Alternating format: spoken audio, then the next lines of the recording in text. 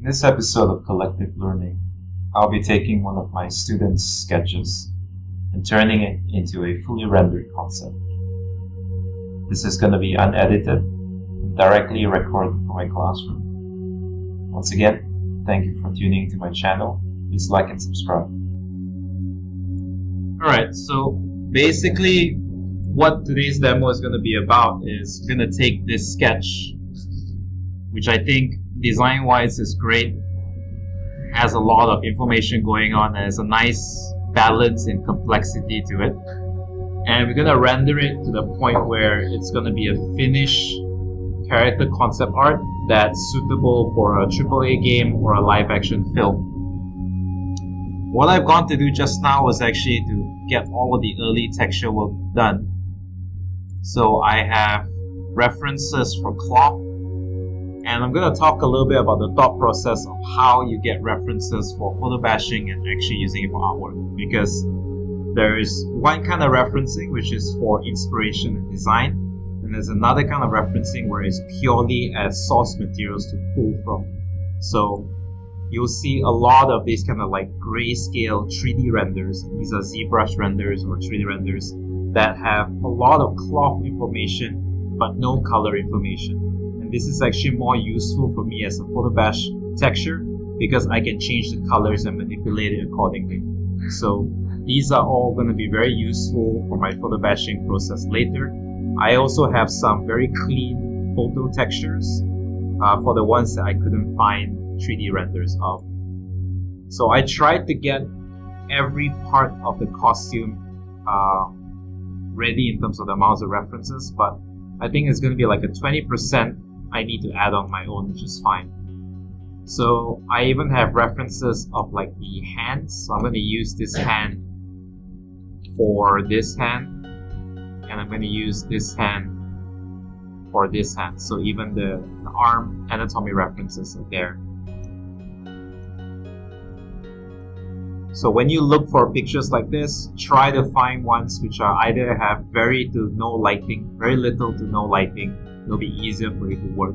And the reason why I like to use 3D renders more so than photo renders or photographs because with 3D renders the resolution is much clearer and everything is just kind of flat.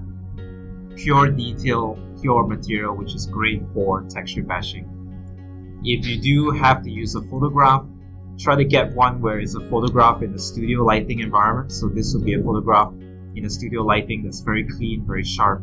There's a lot of textures for us to work with. So in my setting for the Google images, everything is just set to large images only for the most part. So I have cloth.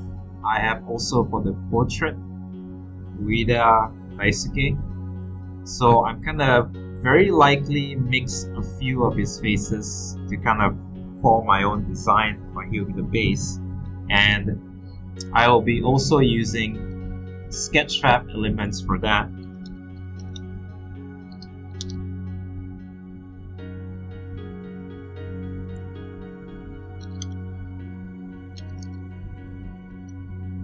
To get a much more secure 3D form, especially with the shadow cast and everything for him.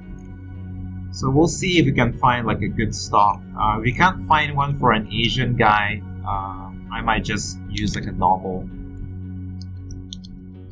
uh, maybe a Caucasian head. There's probably a higher chance of getting a Caucasian head. And then just matching the lighting reference for that. So I can probably use that as a base as well.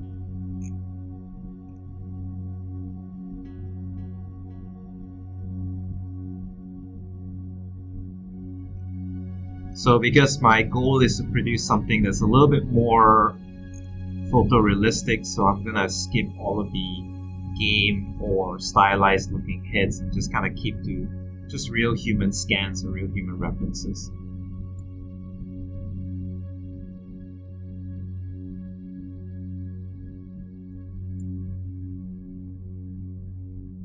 Oh, this has animation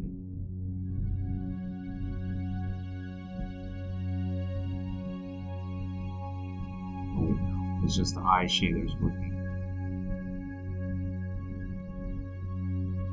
So because in Sketchfab you can actually adjust the lighting. So it's going to be quite useful for us to hold on to this.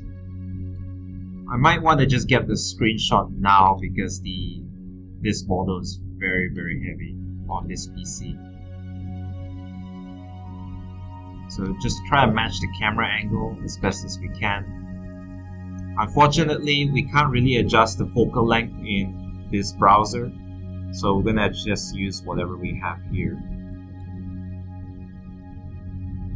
So give or take, this is a similar angle, similar lighting scenario. Just gonna print screen this, it's still like the best way to save Sketchfab screenshots. Maybe one day they'll add like a screenshot feature. That'll be awesome. There is actually also a little tabs on the side um, that you can test out and see whether there's any possibility to grab more textures or more screenshots.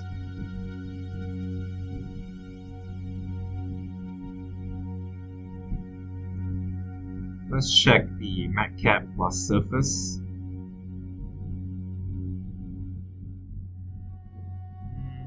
Probably not.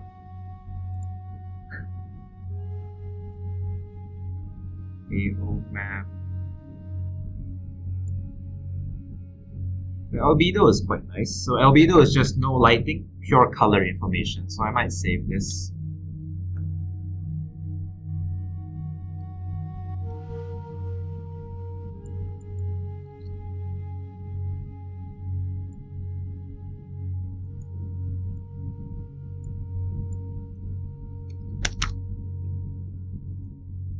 So I like to start like this, clean, you know, pre-prepare all of my textures that I need.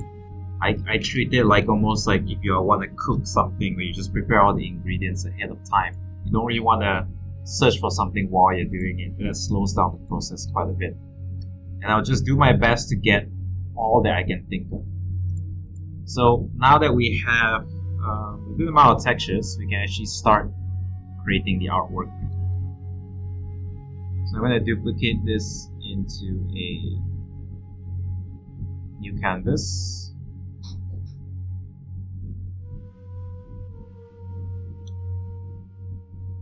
And I'm not too sure about the performance of this PC.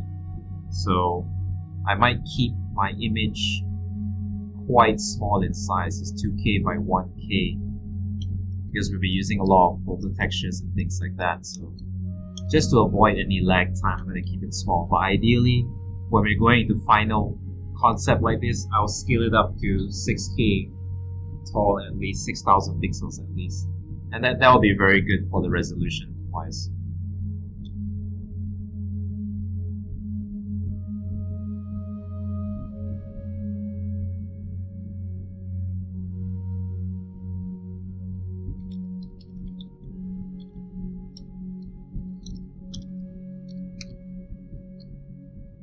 So we're going to keep this sketch and the line drawing is very clean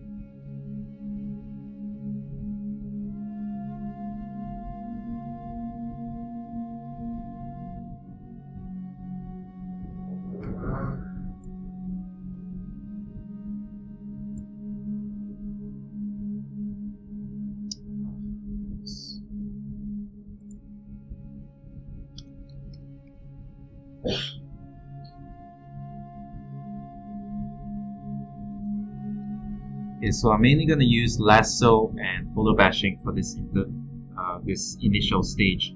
I'm not going to make any changes to the gesture with exception of this hand and this hand because I think the hand is not gripping the star and this hand's a little bit off position as well. Okay, but we should be good to start. So I like to just maybe start off with the general costume. So let's maybe sort out the pants first. This is a very big part of his outfit.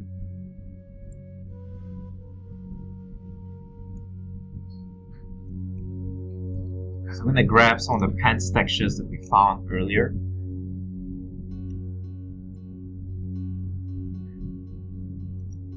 So whenever I create a concept, I like to break it down to stages. The first stage obviously is to create this sketch. So all of the priority will be design, storytelling. But since now that the design is locked, I'm going to move on to the second stage, which is purely about texture and material. I, I don't really want to think about design at the moment. All my focus is on how do I make this drawing look like a realistic piece of material.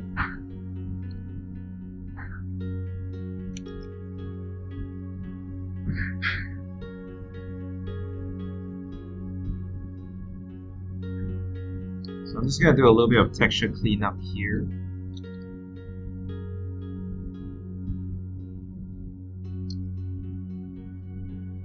That's just a stamp tool. Um, it's not really necessary, but again, I, I like to keep my textures and files clean.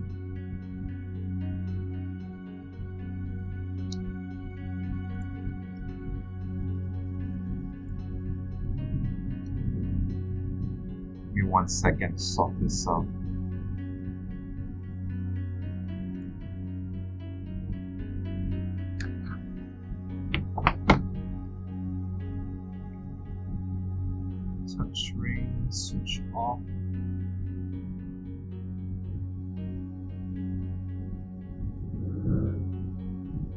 Just a personal preference of mine to not have it.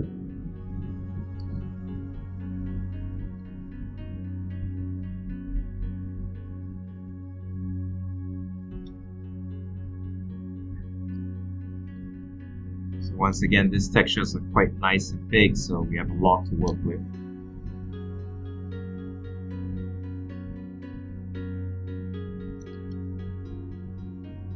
So there is a little bit of lighting information in this photo, but not to the point where it's so harsh that I need to be worried about it. So it's quite a good photo because of that. So now that I have the texture in place, I can use uh, the transform tools to just warp the texture so that it lines up with the silhouette, the design of my initial sketch. This is also why uh, you want to start with a fairly high resolution texture because all of this warping will actually make the texture more pixelated the more you work with it. So having a high res texture to start with will allow that wiggle room. The texture will still survive resolution wise.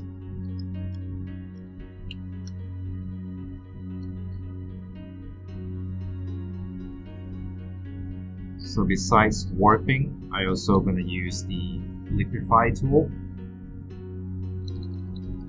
just to make sure some of these perspective and just the way that it's wrapping around the body feels natural. What I notice about people who just started photo bashing, maybe they, they fail to really take into account the changes in perspective of the textures, the camera angle, that your photo bashing ends up looking really flat. And also I want to make sure that I honor the original sketch as much as I can. Um, but any place that I can add more realism, I'm just going to do that.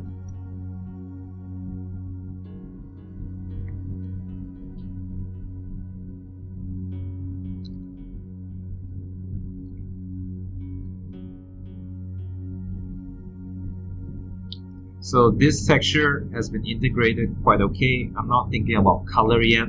Not thinking about um, yeah, I'm not thinking about color yet. Just pure perspective, material choice, and getting all the wrinkles to look correct.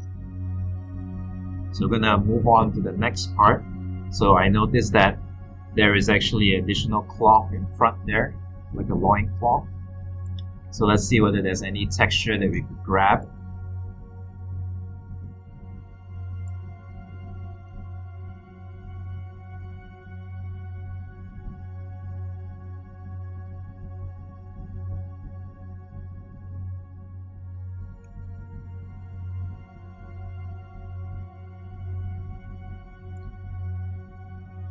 Let's try with either one of these. I don't have an exact cloth, although this one has a pattern, so let me try and use this instead. It's, it's not the actual, it's not a loin cloth, but I think if I cut it just right, it could resemble like a pleated cloth.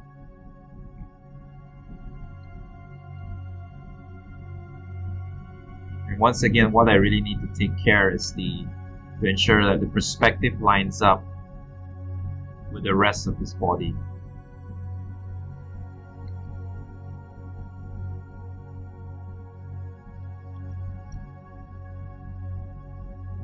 And I kind of like the extra details of the pleats, so I might keep that. And I'm definitely going to make use of this. I do like the this uh, cloth belt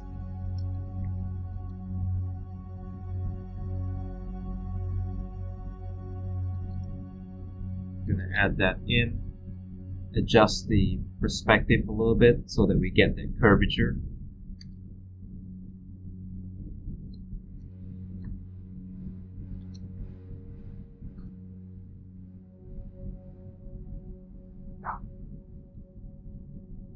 I'm gonna flip it to the other side to build up this general cloth form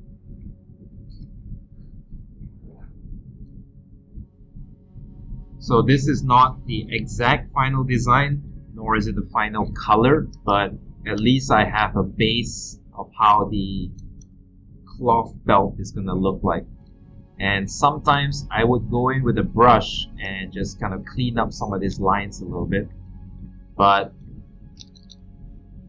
I'm gonna try and keep it to a minimum because the more brushwork I put in, the more I need to clean up and it might look like painterly, which is not the outcome that I'm going for.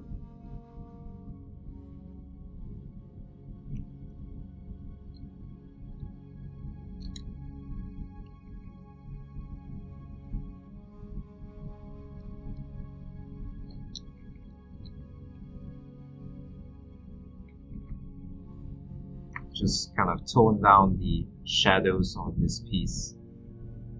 So every texture that I put in, I'm going to neutralize the values by, you know, just cutting down the heavy shadows and cutting down the heavy highlights.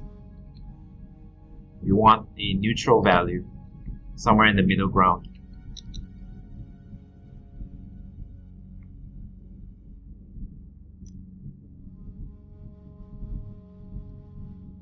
Same with the lower half of the pants here let's just neutralize the values so that we get a little bit more values to work with and it's going to be easier to colorize it as well. So no cast shadow yet, no ambient occlusion shadows yet, so that's why it's looking a little bit fake, but it's fine. We will start to think about the lighting in the next phase. So once again, we're going to take it step by step and build up the piece as we go. Okay, next part is going to be this area here.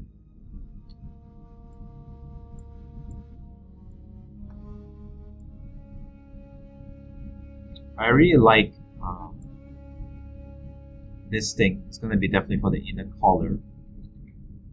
I'm to leave that there while I still remember.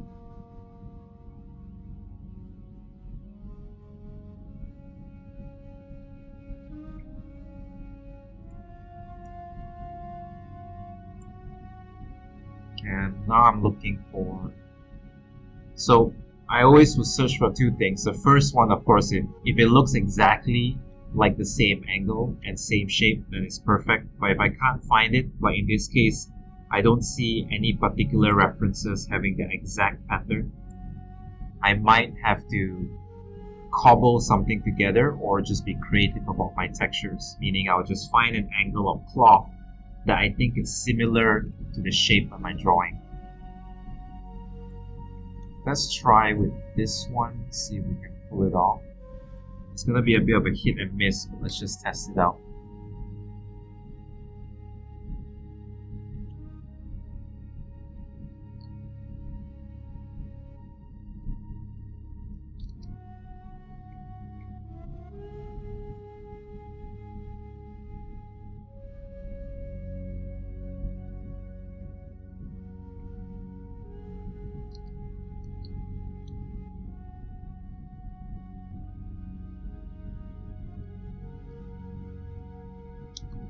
It's not great. It's possible. Let's dig around a little bit more. Try another route.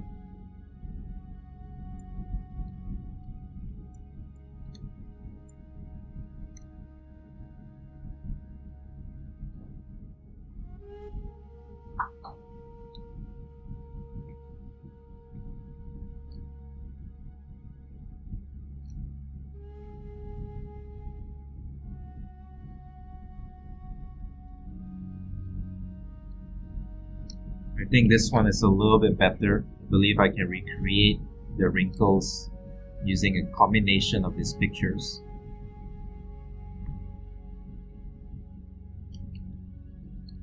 So you don't always get lucky and get like the exact photo. You kind of have to you have to still work for it. The photos are just here mainly to speed up the process of creating this, you know, very realistic wrinkles. But it's not a, you know, it's not a pure cheat code. You still have to do quite a bit of work to make it look nice.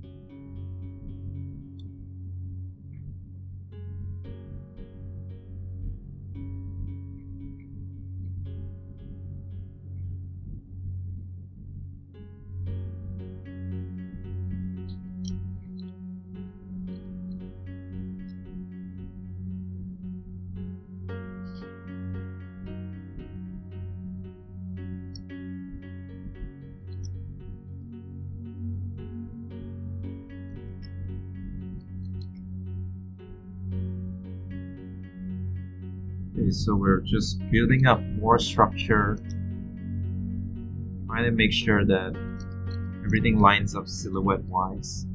And I want to see if I can improve this wrinkle a little bit more. Let's try and grab this pants part to see if I can use that.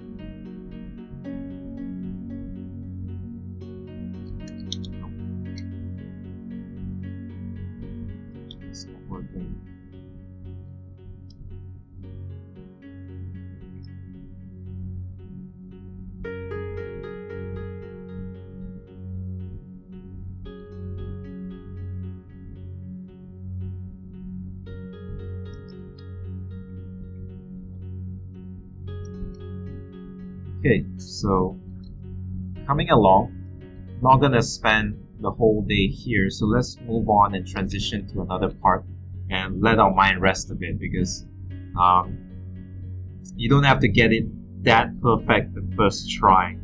Uh, let's move around and flesh everything else out first.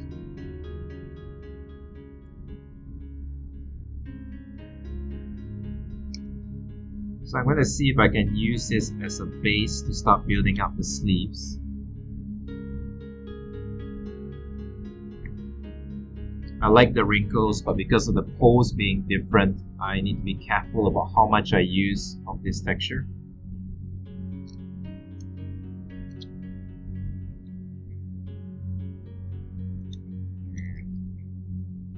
Probably just going to use a combination of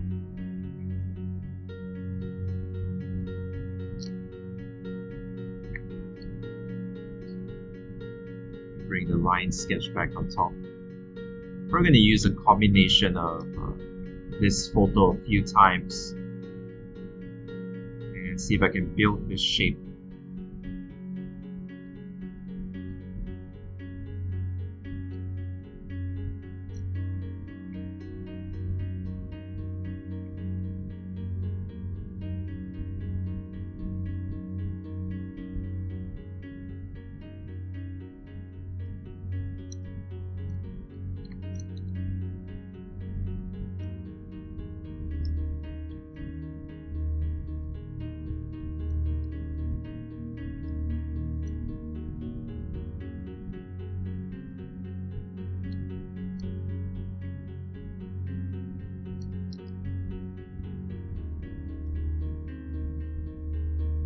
So that part's lining up quite nicely. Then for the other sleeve,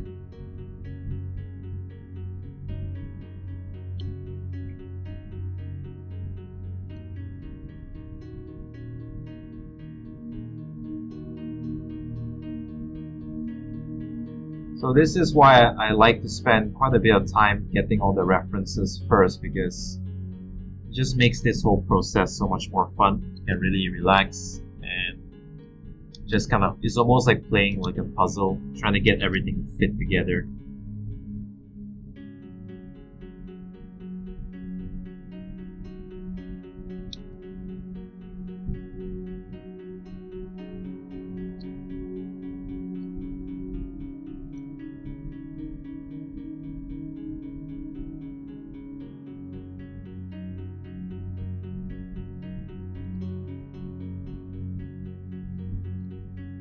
Wrinkles here are a little bit aggressive for a part that's not supposed to be that wrinkled. So let me see if I can maybe use a portion of this texture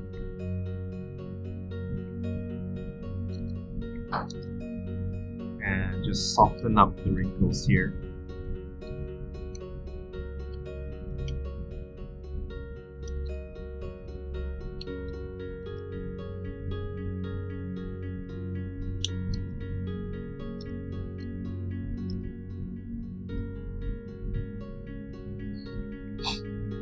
That's looking a little bit more natural and then also maybe improve some of the wrinkle folding here. So I'm using the same photo to build this up just to make my life a little bit easier because if I were to use another picture then I will have to color correct it, adjust a lot of things and very likely the resolution or the pixel density of the photos wouldn't really line up as well. So I'm just using the same photo to build this whole section so that the consistency is there. And when your textures are sufficiently high res, you can actually even just grab small sections and rebuild a bigger section using small parts.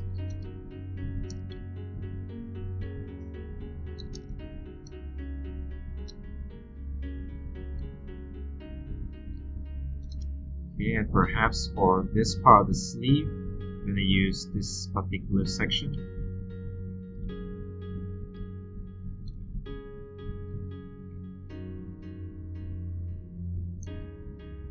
It has that nice micro detail on the sleeve there, which I really like.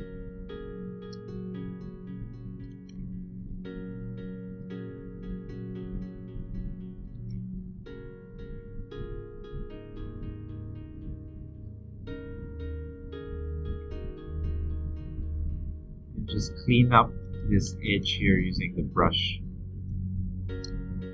So usually my brushwork is just limited to places like this where I just want to tighten up and blend all the photo bash elements together.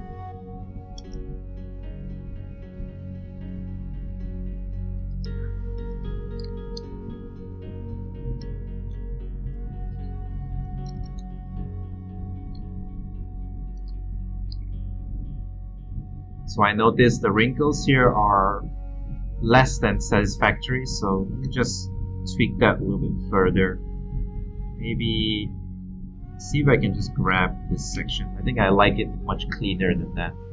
Especially if I'm following the original sketch, the wrinkles aren't that aggressive.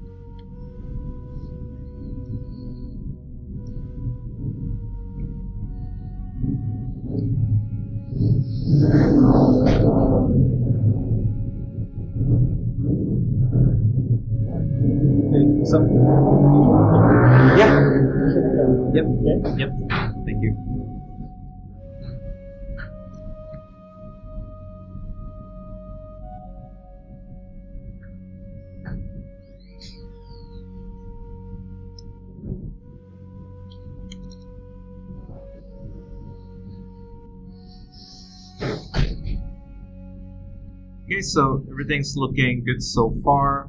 Uh, we've managed to block out quite a lot of the, the character within a very short period, which is great. Now I'm just gonna go in and clean up some of this silhouette, make sure like all the parts are gelling together.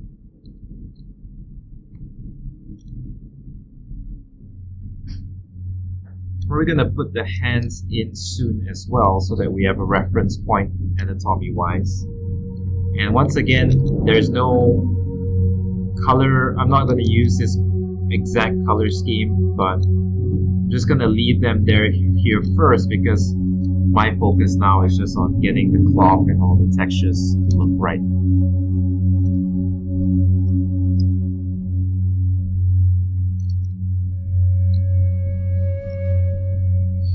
Okay, so let's move on to the other parts of the costume. I really want to make use of this very cool texture. Going to use that as the base.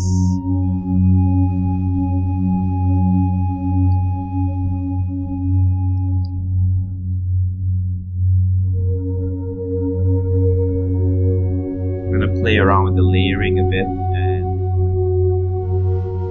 actually add a, a new dimension of detail on top of the concept art original sketch.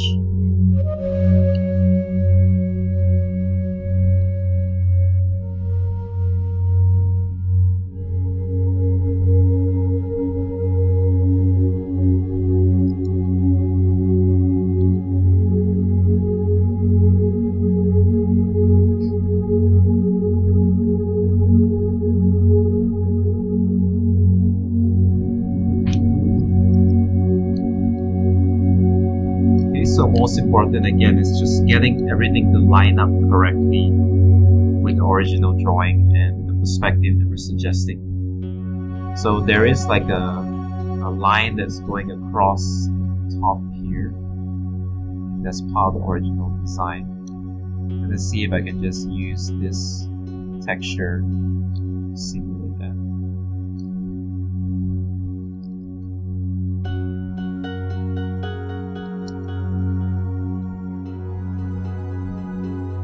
have some armor pieces on top as well that will help blend everything together.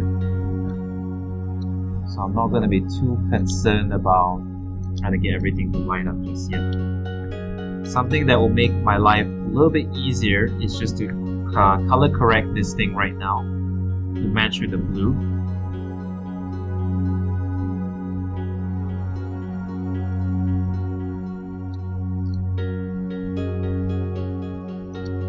I'll just make the blending of these two textures a little bit easier.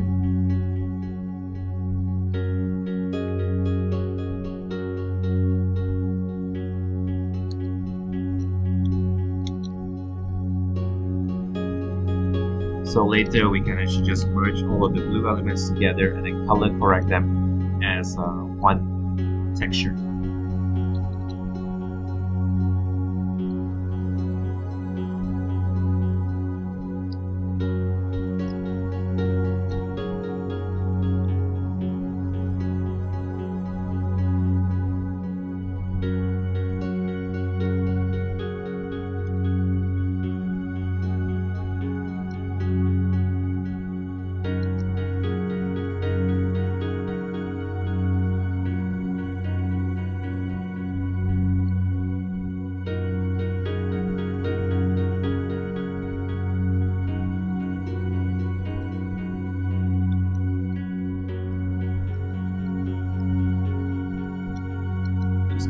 This up.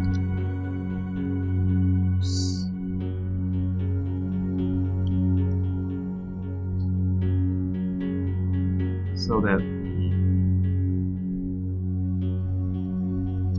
so that everything kind of becomes a little bit more consistent.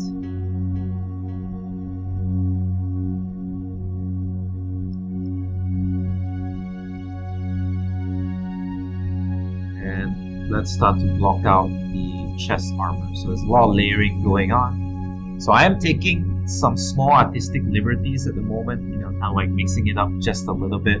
But um, of course, I'm going to do my best to honor the original design. Uh, but definitely for the armor, I couldn't find the exact reference or the exact design, so I'm very likely going to cobble something together based on like 3D renders like this.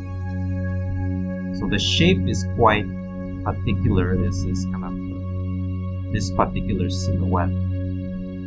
Um, there are many ways you can do it. One of them was just kind of like bring back that actual lasso selection and try to like see if any parts line up. But in this case, uh, I don't think that will work well. So what I'm gonna do is just cut out this entire chest piece with the tassels included, connections included. Just bring it over here and see how I could use a section of it. And all I really need to do is just make sure the silhouette generally lines up with the rest of my design.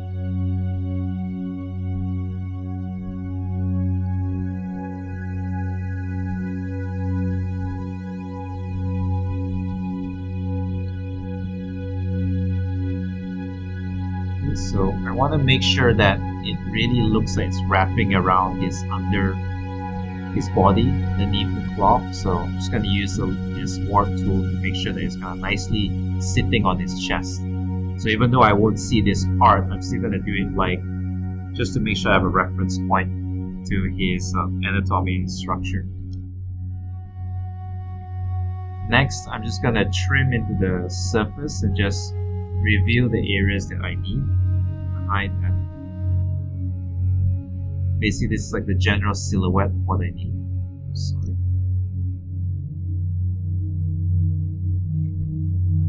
I need to use this as a guide instead.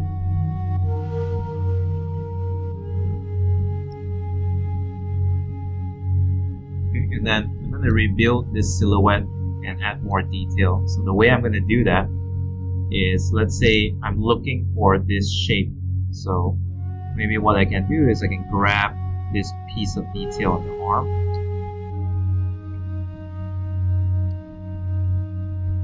Just flesh out that detail there. Now I need a straight line, or sort of like a straight line. Maybe what I'll do is I'll use this, two of these dots,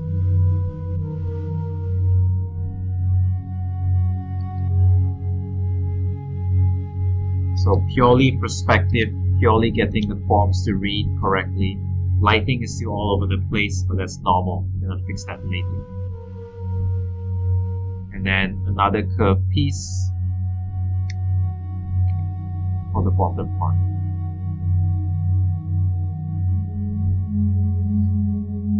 So I am spending a bit of time here, like this this area is quite important, so hence the, the added detail but it's just good to kind of settle this part early so that we don't have to kind of uh, revisit it. I also want to make sure that it's following the original design where this whole section is much more smooth. So I'm going to see if I can just grab this chunk here, that small little piece,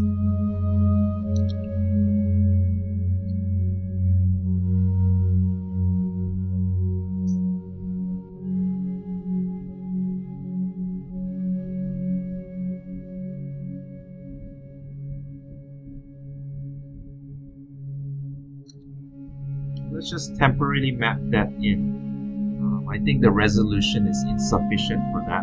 So let me try with this part, see if that works. It's a little bit bigger here. Last resort is I just paint it.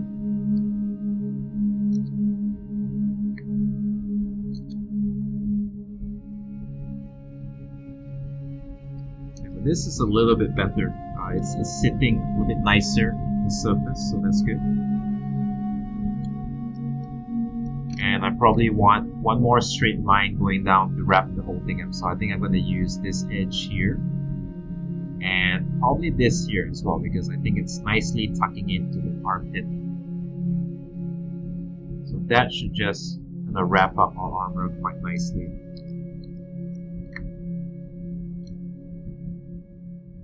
So it's a little bit like puzzle work. It's almost like a matte painting where you're trying to build up forms using a series of images.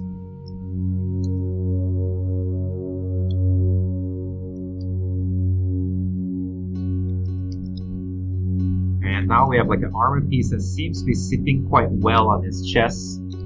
I'm just going to remove any weird distortions that I think would affect the believability of it. Everything looks like it's wrapping around. And it has some nice micro details that came with the photo, so It's good so far. Uh, merge everything. There's one nice contained layer.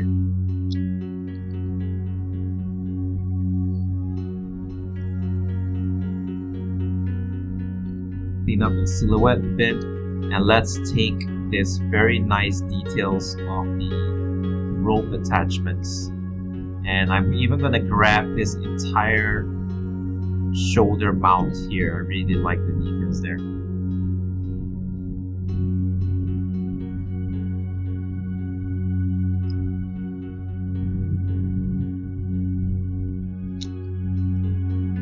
So we're just gonna connect those elements together.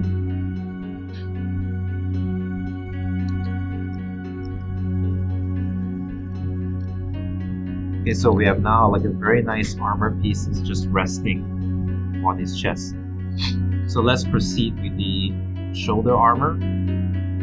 Theoretically, I could use this. Um, it is a very nice render, very nice texture. I did also save this image, possibly, but I kind of like the a little bit more simplistic, as this one looks almost very ceremonial. Um, well, let's give it a shot. I mean, let's try both and see which one works better. So I'm not going to grab the whole thing. I'm just only going to grab one, one section of it.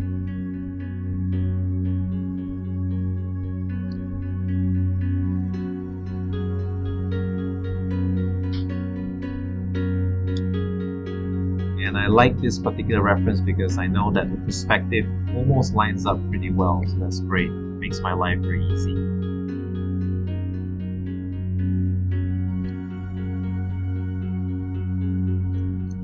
Repeat it at the bottom as well.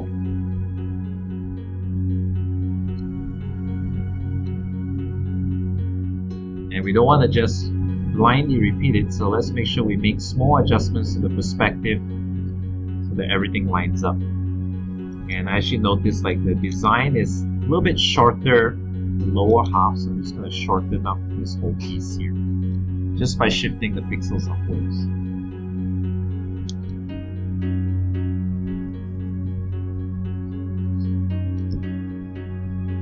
So we got like the foundation set quite nicely for this armor piece.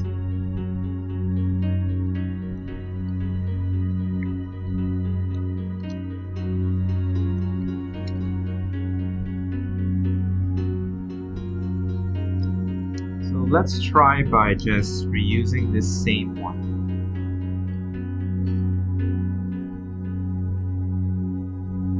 I have a hunch that it might look very repetitive because it has a lot of noise in there. So what I'm gonna do is just manually clean this up. Use the stamp tool instead.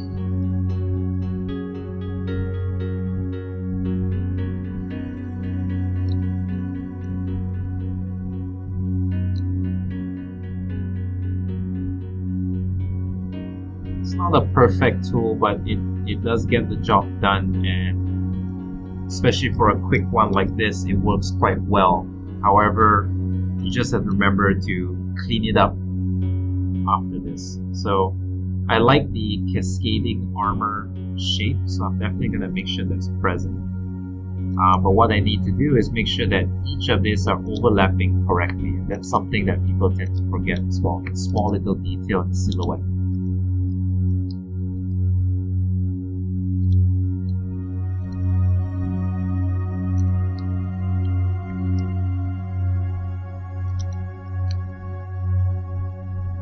So the cascading armor looks really good. Probably what will make it look much better is uh, a little bit more lighting and shadow. But we'll, we'll sort that out in a later stage. So for now, let's just um, tweak the form a little bit. Maybe I'm gonna flare out the tips so it just looks a little bit more naturalistic, less CG, whereas it just darkly repeated. And of course, we're gonna tweak the colors later. But generally, that's a that's a pretty nice start. Gonna bring back the reference of that samurai, the 3D rendered samurai, and get some of these tassels and rope connections pieces. These are like very lovely, very nicely modeled out. very nicely rendered, so they'll act as excellent textures.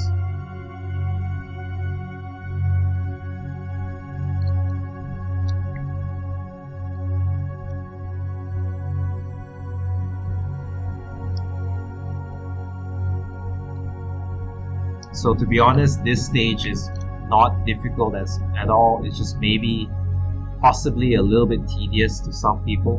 Um, I, I personally enjoy it. I find painting honestly much more tedious, so I actually like this workflow because I can create the design that I want uh, without having to, you know, try recreate it, try and learn painting at the same time. At least now I can just focus on detail, focus on design, which is the stuff that excites me more as an artist. Okay, so fairly quickly we have everything in. It's about like maybe 30 to 40 minutes elapsed and we kind of have almost the entire design fleshed out. Let's move on to the portrait and block that out.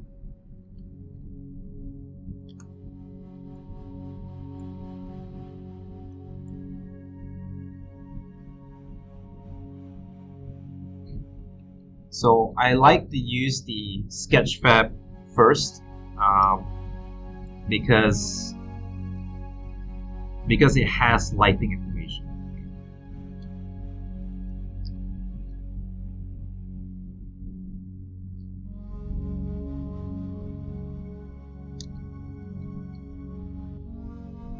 So first thing is to make sure that scale wise everything lines up generally I like to start with an anchor, maybe like the nose.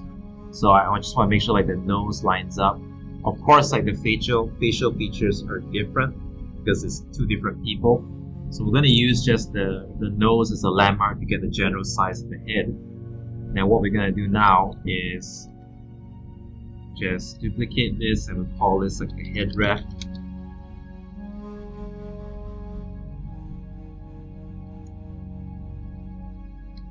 So what we're going to do is we're going to liquefy this portrait.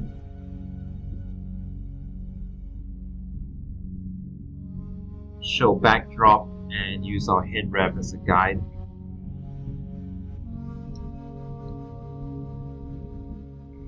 So first thing is just try to get like the bone structure to line up to a degree.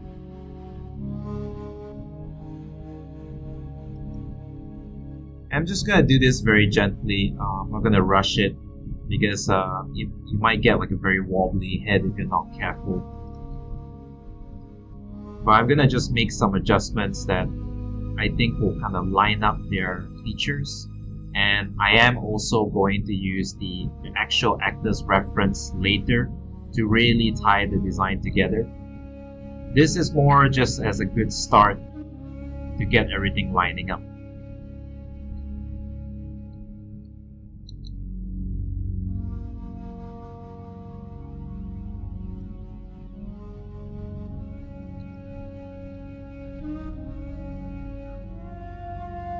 So go slowly, make sure all of the, the anatomical landmarks are correct. You don't really want to rush it and to the point where you're creating a disproportionate face. So we can always just keep checking the keep checking on and off the uh, reference so that we know that we're not going too far.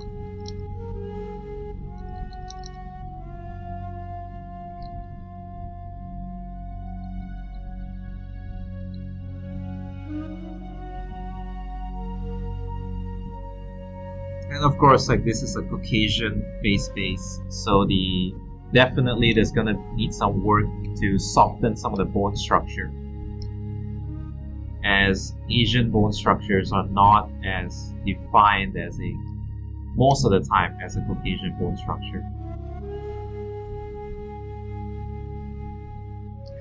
But this is great because we have the ears given to us, we have the neck with the cast shadow, and these are all very very useful elements that we don't have to paint anymore.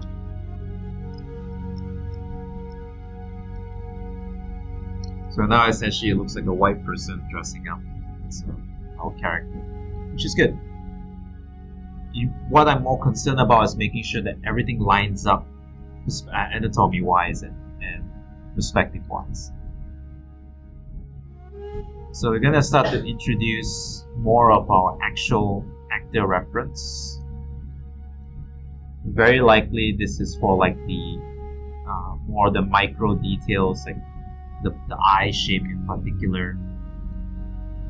But I don't want it to be like a simple hack job. I of course want to design my own character as well.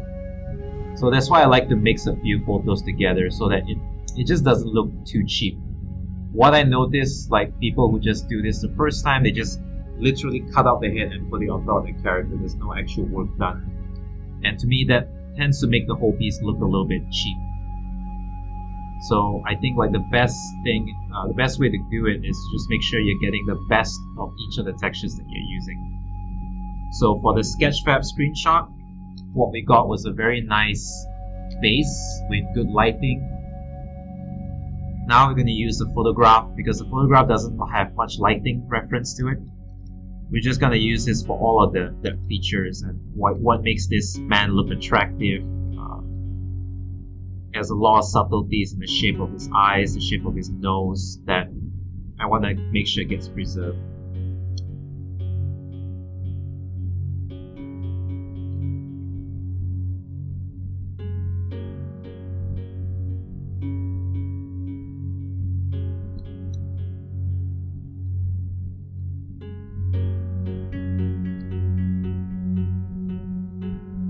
So I'm just building up the layers. Um, we're nowhere close to final yet, but I just like to put a few in at the same time.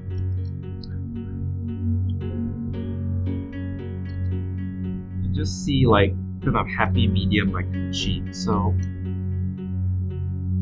I'm gonna start erasing now.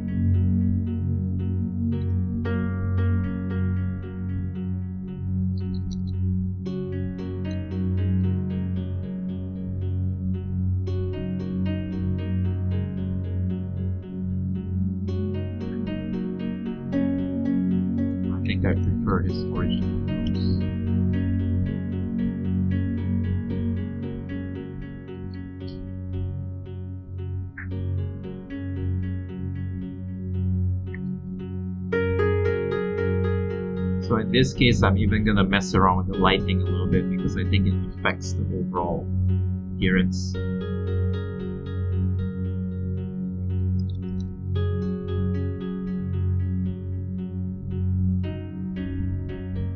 So if you're designing something for like a, a video game or a film, there are also times where you are working off like a like your your game director or your film director might already have an actor in mind that they plan to 3D scan.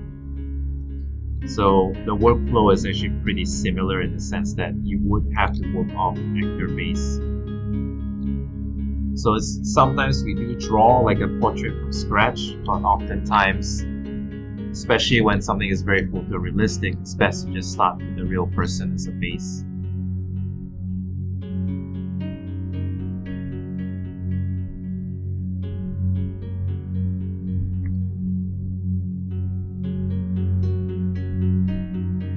I like where this is going. I'm gonna just uh, apply a little bit of a surface blur to get rid of all the pixelation.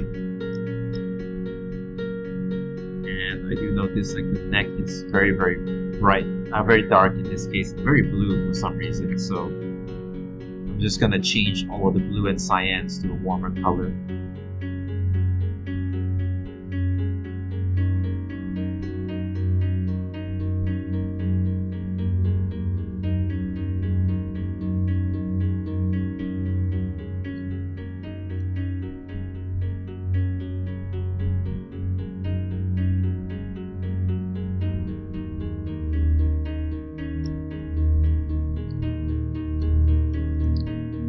Okay, so now both images are somewhat integrated.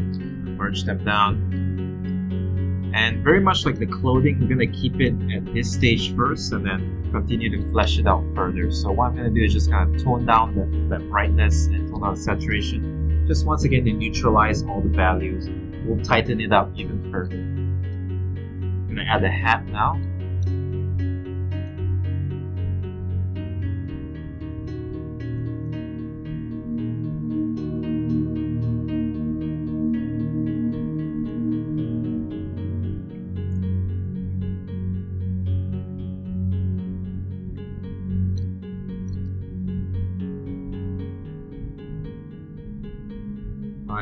Not sure. I don't think this is the exact hat that he's supposed to be wearing, but the angle is very close. So what I can do is kind of combine this or modify this texture so that it matches the silhouette my actual drawing.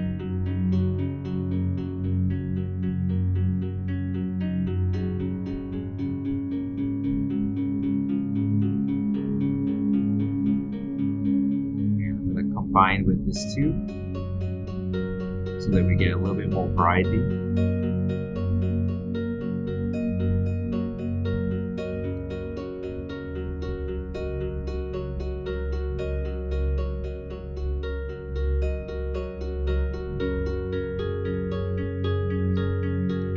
Just once again reduce the contrast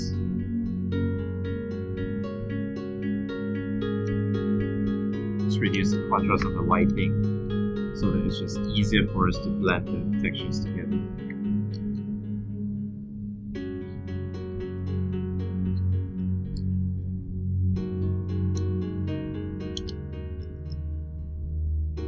For the detail on the rope, let me bring back that samurai piece. It has a lot of nice rope details.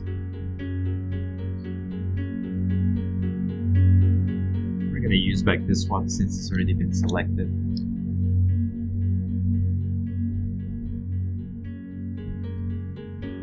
Again, not not the most historically accurate thing, but I'm just um, I'm aiming for efficiency. And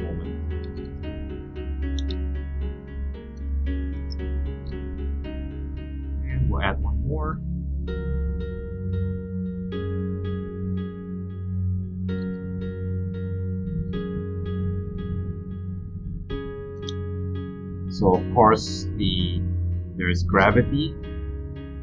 I'm just gonna rotate this downwards like that. Small touch, but it just ties the textures together.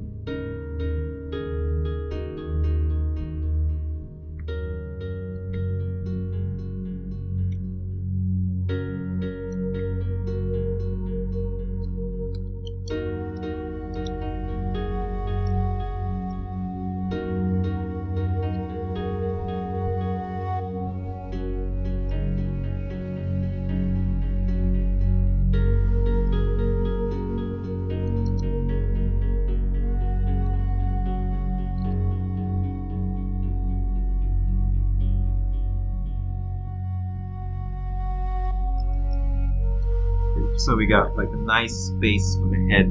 So moving forward, let's do the rest of the body.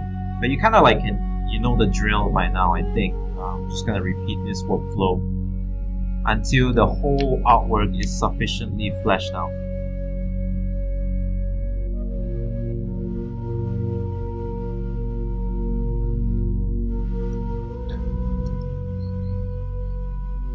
So I love I love this sculpt by the way. I've used it for like cloth references, cloth textures uh, many times now and, and it's just such an excellent piece. So the hand gesture is also really nice. Sculpting is great. I'm going to use as a base. It's a little bit too wrinkly for my liking, so I am going to do a surface blur. Just to soften the wrinkles up a little bit.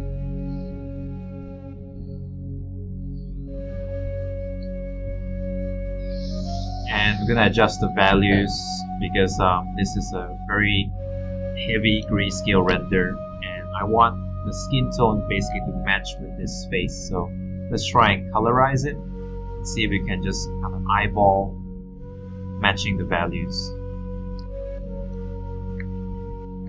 Another thing we could do is also image adjustments shadow and highlight. And maybe just tone down the amount of shadows tone down more highlights. See if we can neutralize the picture.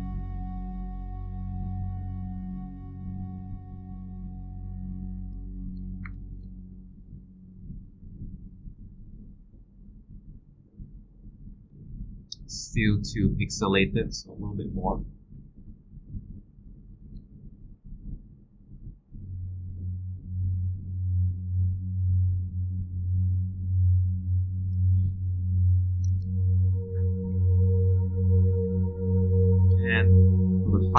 Color, I'm just gonna use uh, color blending mode just manually paint in color picking and just gonna try to try to match the exact hue.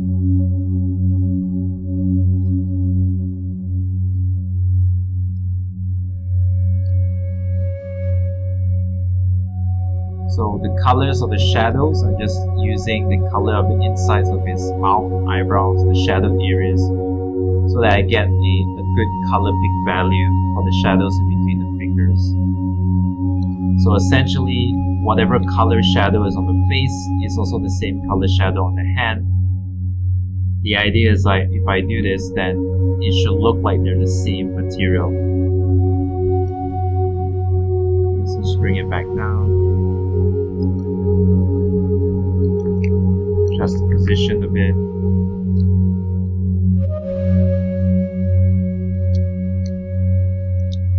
Thickness a bit.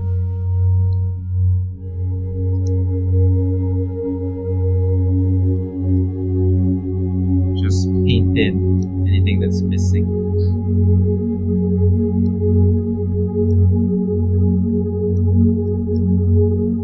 Okay, so that looks fairly reasonable for a very quick job. I think it's kind of usable for now. And then I love this hand.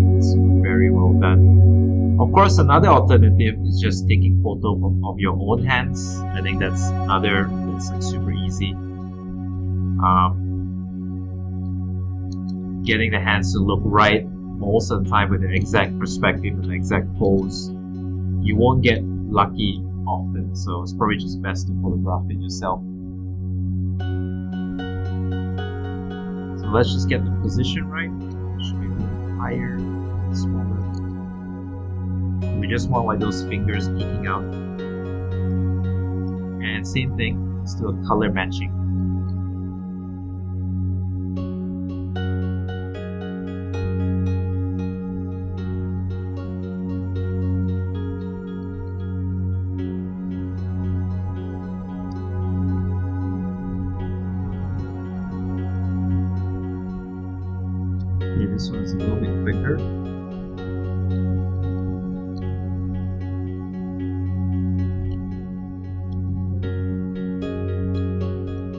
Again, same thing, set my brush to color mode so that I can just paint in the exact colors.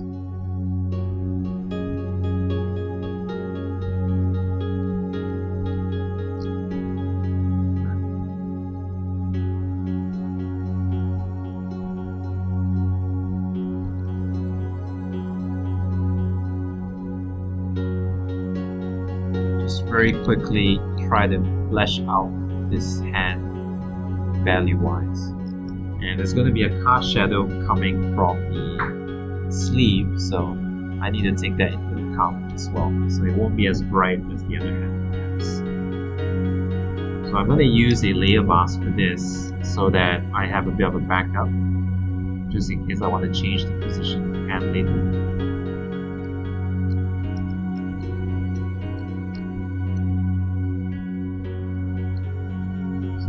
Now I can I can uh, just move the layer around and see what will be a nice position.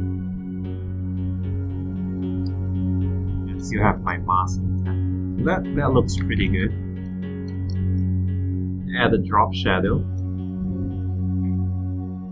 Even though we're not supposed to really do lighting yet, but I think uh, it's a very quick one and I think will help with deciding on the later stuff. So let's just add a quick drop shadow.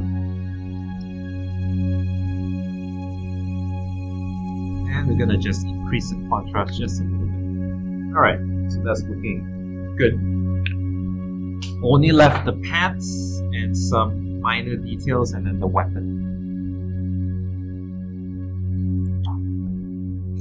So I found this really nice uh, samurai shoe reference which I want to use. It's a ZBrush model and it's great because it has multiple angles as well.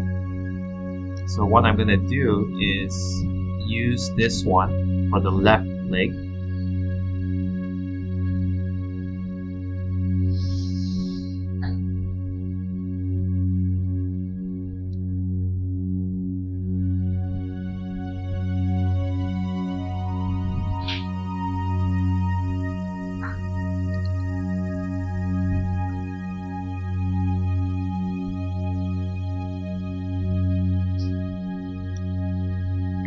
Make sure like the angle lines up. And for this one here, because it's we're actually viewing it a little bit more from slightly in the top view, so I'm going to use the warp tool and just warp this texture so that it lines up. And I think for this part, this is again, once again, not really accurate, but I think it'll look quite cool. I'm just gonna extend this texture outwards. So if I put it underneath pants, should look quite nice.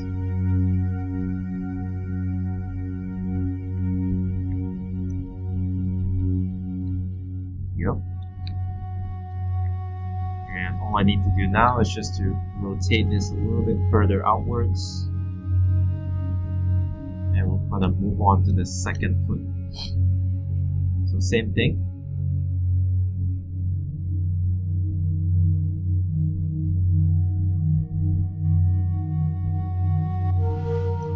Use this texture instead, this angle instead, this ZBrush sculpt.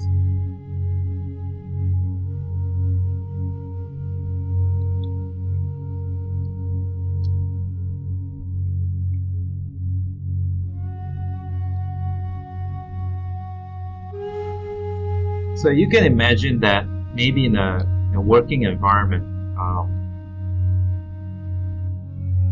especially let's say you're producing sketches for characters. If you work like this, instead of relying purely on a line sketch, you can actually produce a lot more designs that are in color and have texture a little bit quicker. And that's actually normally how I prefer to create concepts. I would just have a very, very loose sketch but I will use this technique to quickly build up the design as well as the materials and presentation. Then when it comes to the finishing, it's just a matter of how much time my client can give me, how much time there is in the project project to tighten everything up with a brush or additional higher res textures.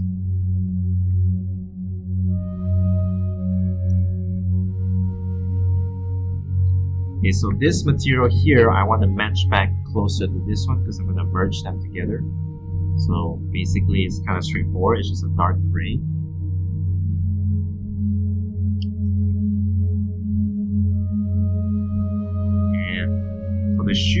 It's a little bit more complicated. It's a mix of a few elements, so I'm going to have to cut everything up. So this is the white socks, or whatever color we choose the socks to be cut this out. It's a little bit tedious again, but um, I find this to be the cleanest way to do this. You could technically just paint over it with a brush set to multiply as well, but I just like the, the full control of doing it with the lasso. So I want this to be just clean white, maybe tinted a little bit of like yellow, red, just to hint like some aging or some dirt. and the next thing is the woven the woven um, parts of the shoe it's again quite tedious to lasso this out but it'll be worth it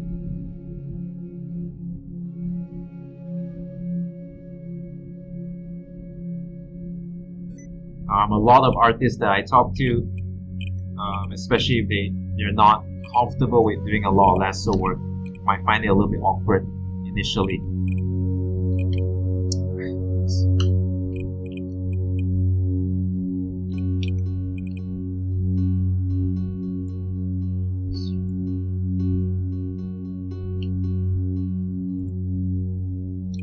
But what I found out is um, a little bit of practice should be fine. You get the hang of it. Sorry, I just lost control over my keyboard, so it's just a bit annoying now.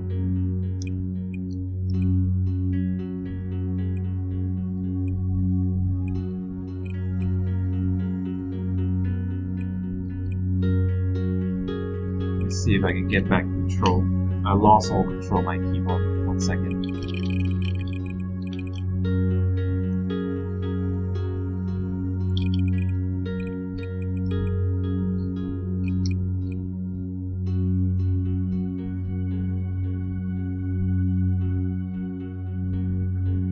If any of you have faces before, let me know. Um, don't know what's up. Must be that thing that popped up just now because um, I literally have like no keyboard input.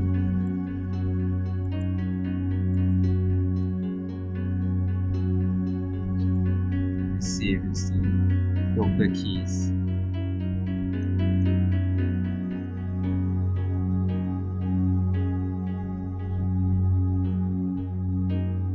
Always scan this section. Yep, okay, it was the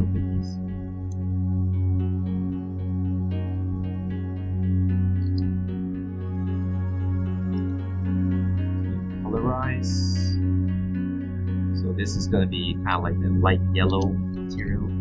Start magnifier. And now it's the switch the color. Start narrator.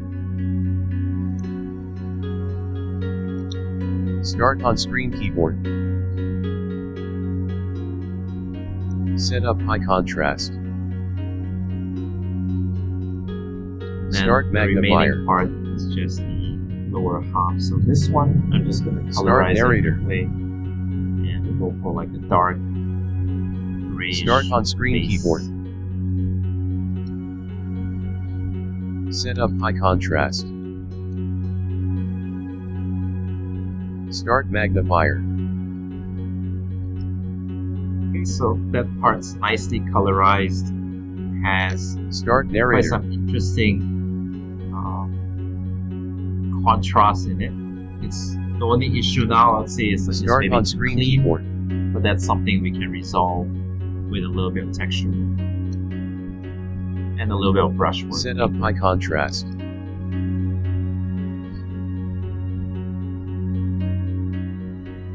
Okay, last Start thing I want to magnifier. sort out is the staff. Then we can start actually tightening tightening everything up.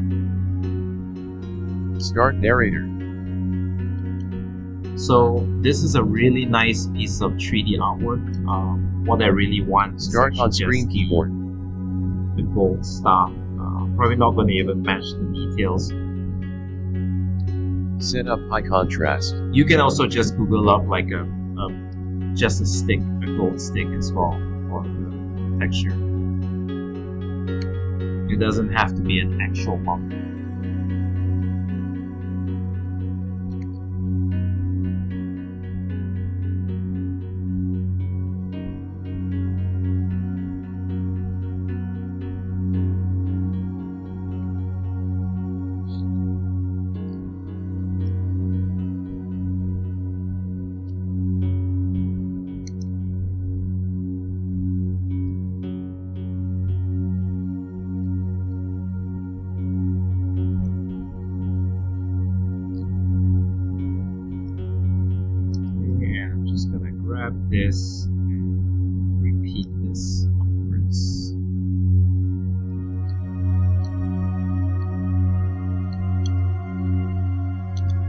Hide the seam in the hands. It easy. Okay, and all of this here, um, because the shape is quite complicated, you know what? Let me just clean up my file a bit. Just kind of get rid of some of these textures that we're not using anymore. Scene is quite heavy as it is.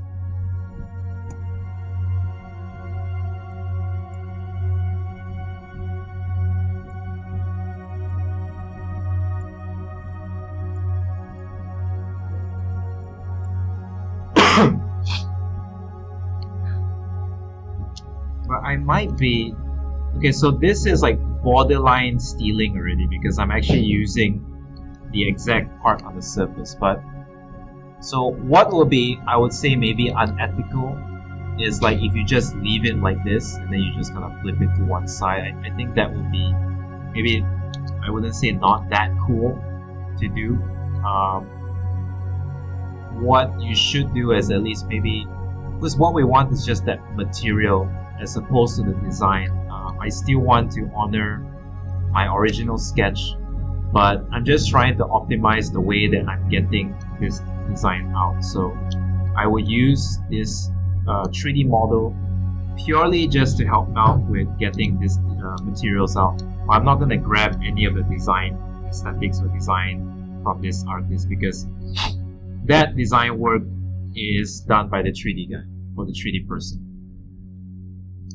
What I want to steal from them is how it looks like gold because the way that the gold here is really nice.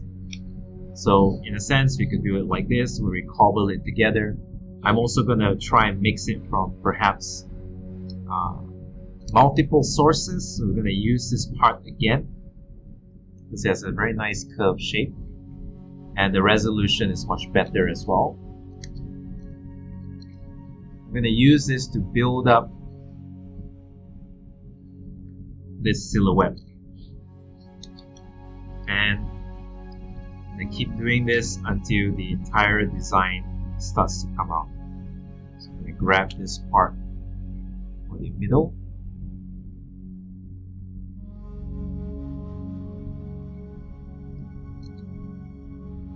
And maybe we can grab this particular section. It's quite a small element here in the middle but I think it'll look really nice at the top here.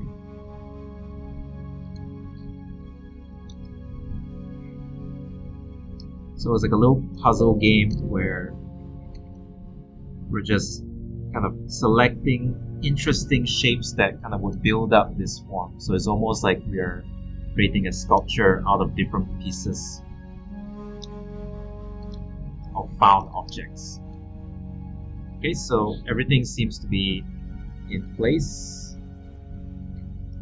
and it matches the silhouette of my original sketch. I'm to flip it to the other side.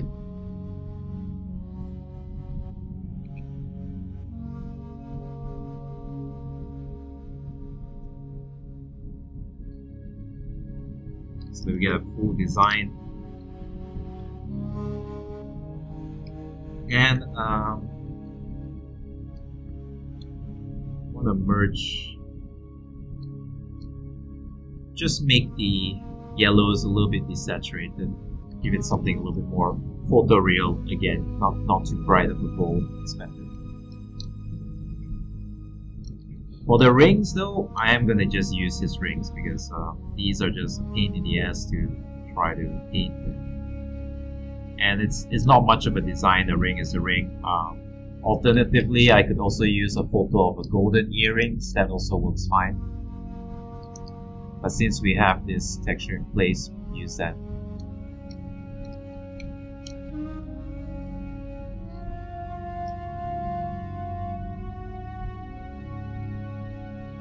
You know what? It is very low res, so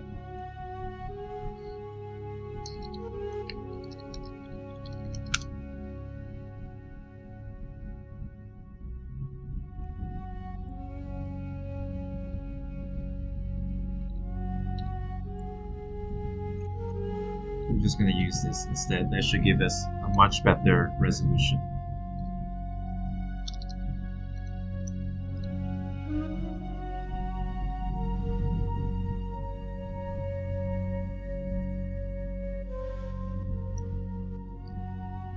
So it really pays off you know, being able to think outside the box in terms of where you get the textures I would imagine that if you try and search for like monk staff ring, you, you probably might not get any usable textures.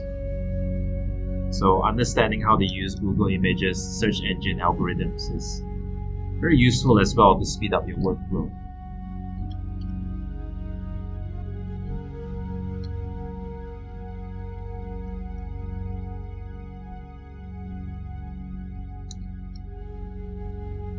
So theoretically, they should be all dangling at the same angle. So that's what I'm going to do.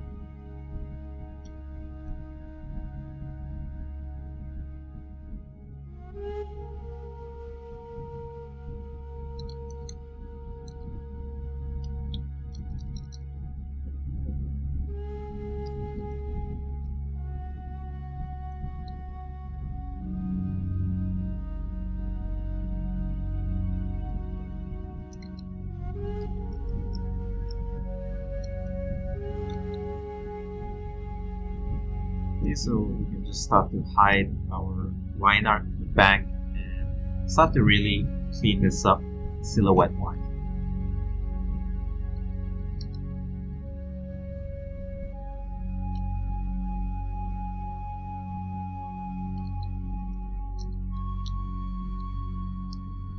So the texture building phase is almost done. We're gonna soon proceed to a lighting phase and maybe figuring out all the colors and any missing textures. So what I'm doing now is just kind of going with a brush and just kind of merging all of these textures together so that they line up a little bit better and that we don't have any weird silhouettes. Uh, so a weird silhouette would be maybe something like here. This is a kind of an odd silhouette, maybe because it's intersecting the pants. So let's clean that up. Maybe just improve on the overall soft shadows just a tiny bit. Once again, I'm going to be careful to just not overpaint everything, just keep it neutral. And I think here also has a little bit of oddity, the way that the cloths, the wrinkles are being done.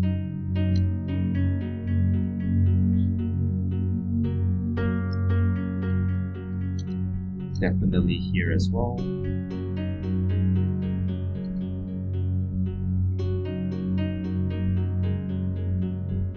So it's much easier to do this at, at the stage now because everything is in place. So not too concerned about all the textures and everything like that. Oops. Well, what I'm gonna do is maybe just stretch out this guy. That would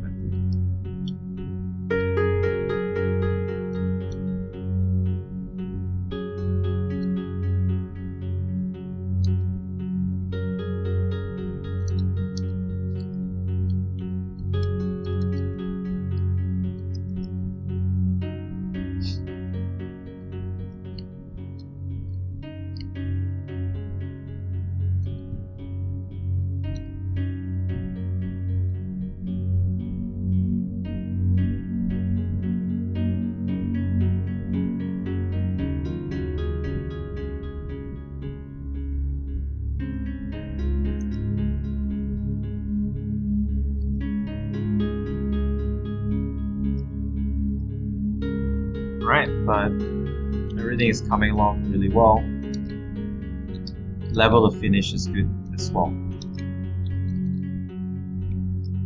Everything has sufficient resolution, a lot of details, and we've only spent about an hour and a half to get to this stage. So all we have to do now is actually just fix the colors and fix the lighting. So before I do that, um, I'm just gonna do a little bit of housekeeping on the PSD file. I do want to keep some of the layers present, uh, just key ones. And I don't have to label all of them, but I just want important ones to be sorted out.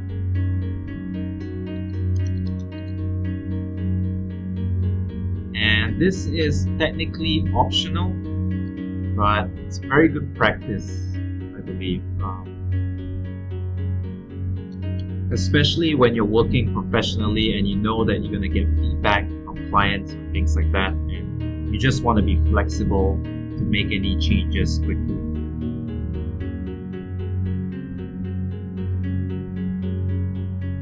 So a lot of the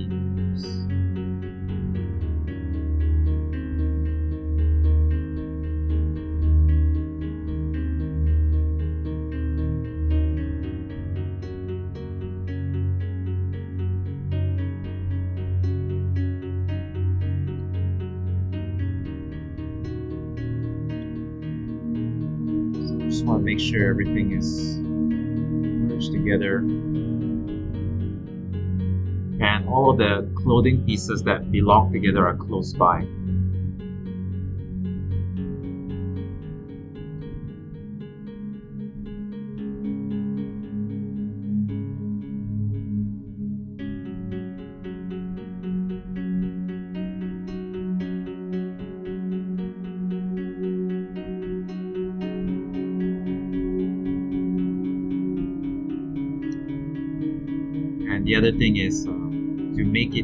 easier, I want all the colors that um, anything that's the same color to be in the same layer.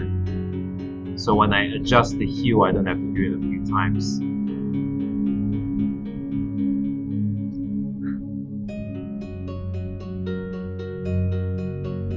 There we go.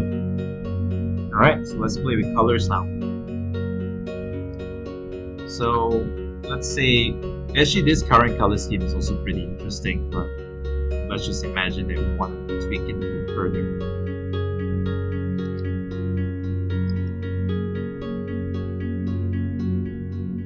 So I'm just going to use like hue and saturation levels to add some color variety to the whole piece. I'm not going to paint any of the colors in. I'm also going to try and suggest uh, just a little bit more color variety or hue variety by playing with the levels and intensity of the colors itself. So it just it doesn't look too flat. So like here we have like three tones of red even though they're the same fabric. Other thing I'm going to start to apply is just a little bit of ambient occlusion in between the materials. So if you don't know what ambient occlusion is, if you just type it out, it's actually a 3D term. But basically ambient occlusion is all of the shadows that appear when objects are close to one another. So when you have an object that's here, this box and this wall, there should be an ambient shadow in between them. So it's not cast shadow, but it's ambient shadow. So if you look at ambient occlusion painting, you can see like how people use this to help build up their just their like underlining shadow first before they start doing the cast shadows.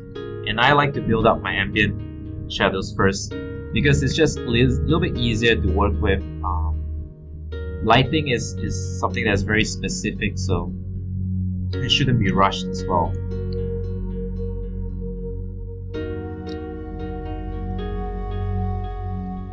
So I think ideally this cloth should be the same color as this cloth because you're going to connect them together.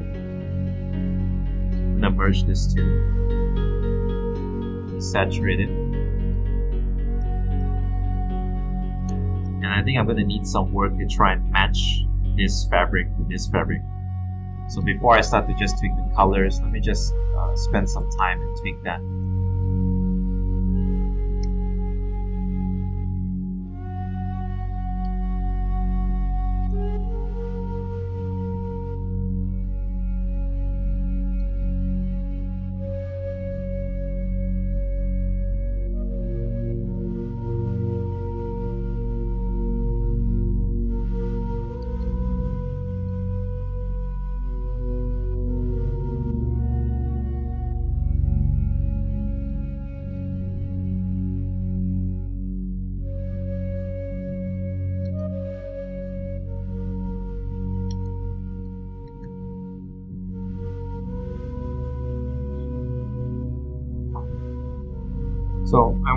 These lines so that it actually connects with the skirt.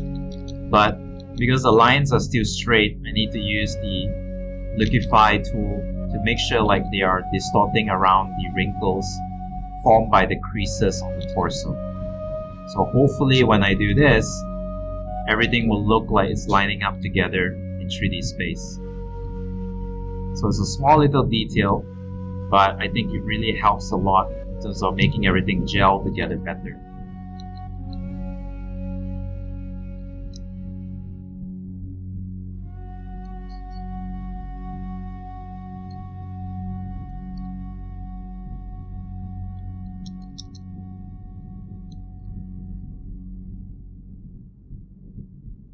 You can see how like now the lines at least seem to line up with the rest of it, so that's good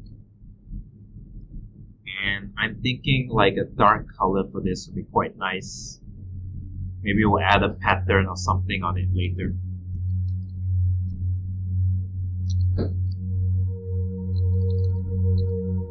So I'm just using the dodge tool to just kind of start to indicate some very very loose lighting and I just realized like maybe the values here are a little bit screwed up. There shouldn't be this black line there. There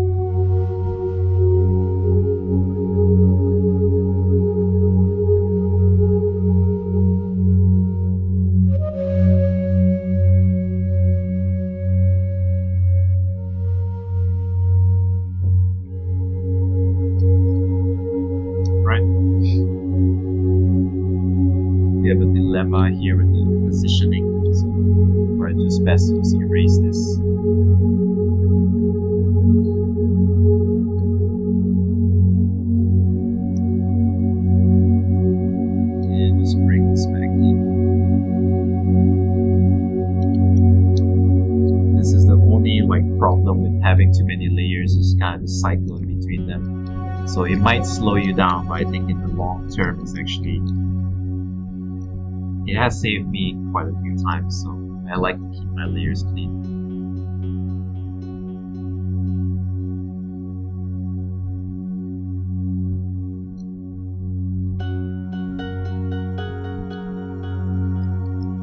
Okay, so for the sleeves, let's try maybe white. So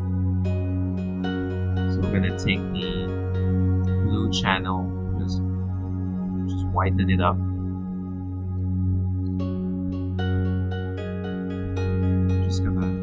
White is a very interesting material. Um, one of the key I found out was like you want to just reduce the contrast as much as you can. It has much less contrast than most colors because the white will reflect light amongst itself.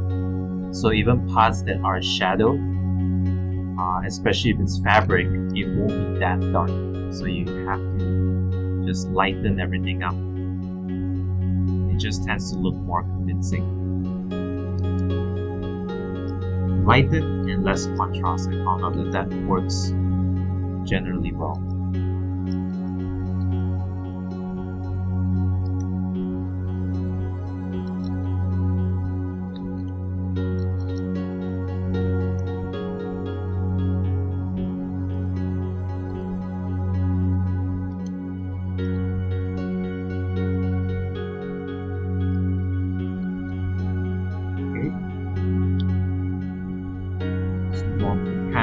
Actually quite happy with the color of this pants. You know what? Let's let's try blue and see if it works. Somewhere along the lines of the color. Yeah, I think that works pretty well. So it's like complements the color there. And same thing, we're just gonna use a dodge tool and just burn in some soft ambient shadows. So just don't overdo it. You don't want it to the point where it looks patchy. And that's kind of like a bit of a just kind of being very gentle and taking it slow. I think tends to help. And keeping your exposure maybe a little bit lower than what I have now. You can even go all the way down to this low. Just gradually build up the values.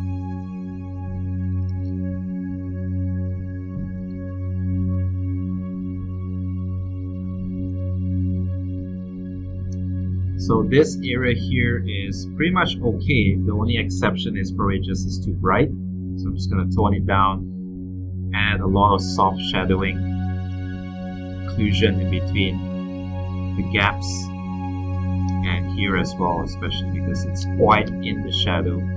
It's gonna be a lot of occluding shadows here. For the socks, I'm just gonna drop the brightness, but I'm not gonna really add too much occlusion because uh, as I mentioned, when it comes to white material, you don't want too much contrast. It tends to look really fake when you add high contrast. For this part, I think it'll be cool if we colorize it to red so it matches up so we get a nice tree tone system going on here.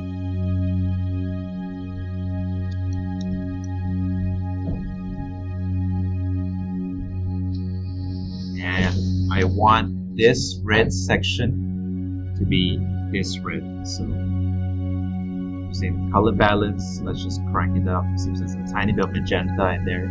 And we're just gonna use the dodge tool, raise up the values a little bit, and just add that little bit of occluding shadow between.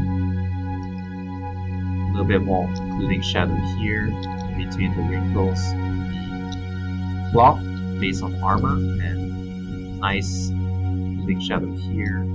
So it's going to be a lot of occluding shadow, just particularly in this area due to how much gear is present. Just realize that this guy is floating, so we don't want that.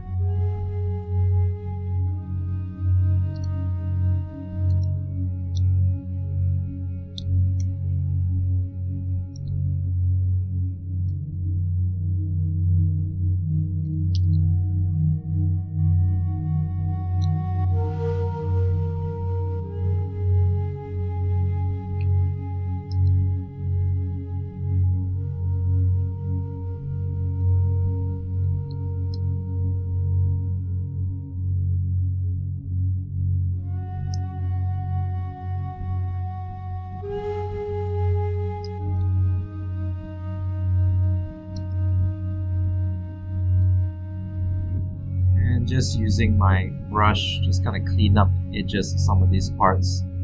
And instead of using the dodge tool, I'm just gonna paint in the occluding shadows, all these small, small details in the armor.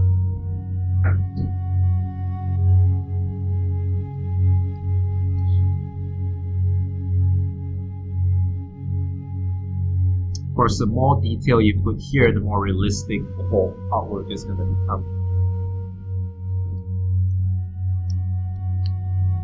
So as you can see, like the whole piece is starting to come together a little bit better, right? Like it doesn't look so photo anymore. Um, nothing feels kind of floating. So that's a good sign.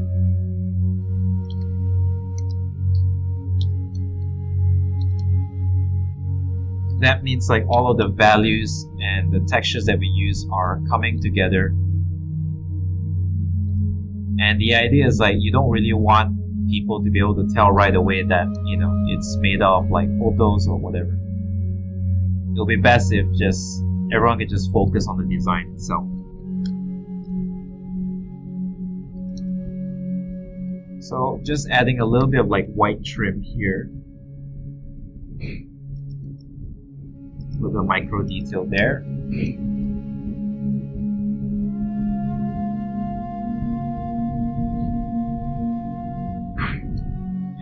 Hat. Want to get all of that little shadows correct. Make sure this part is not too bright as well. And if you notice, there's a lot of like missing floating parts here which I need to fix manually.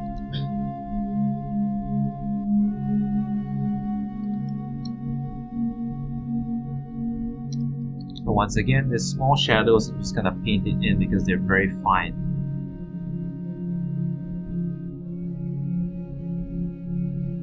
And I probably want like a lighter value, less warm, less contrast as well. Something that looks lighter. Here, I want to make this detail a brighter material, maybe like gold. So I'm going to change the, basically to make it metallic, so I need to add the yellow, a little bit red, and really adjust the reflectivity of it. So I'm gonna really make it pop here.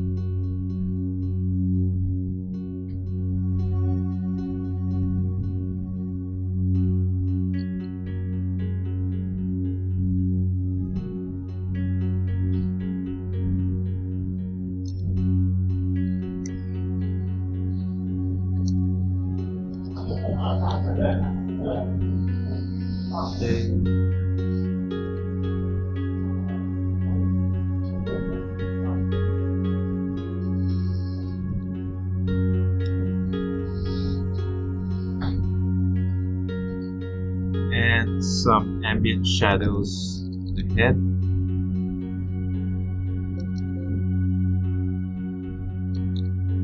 That should really make the head sit. Sorry, make the hat sit on the head much better.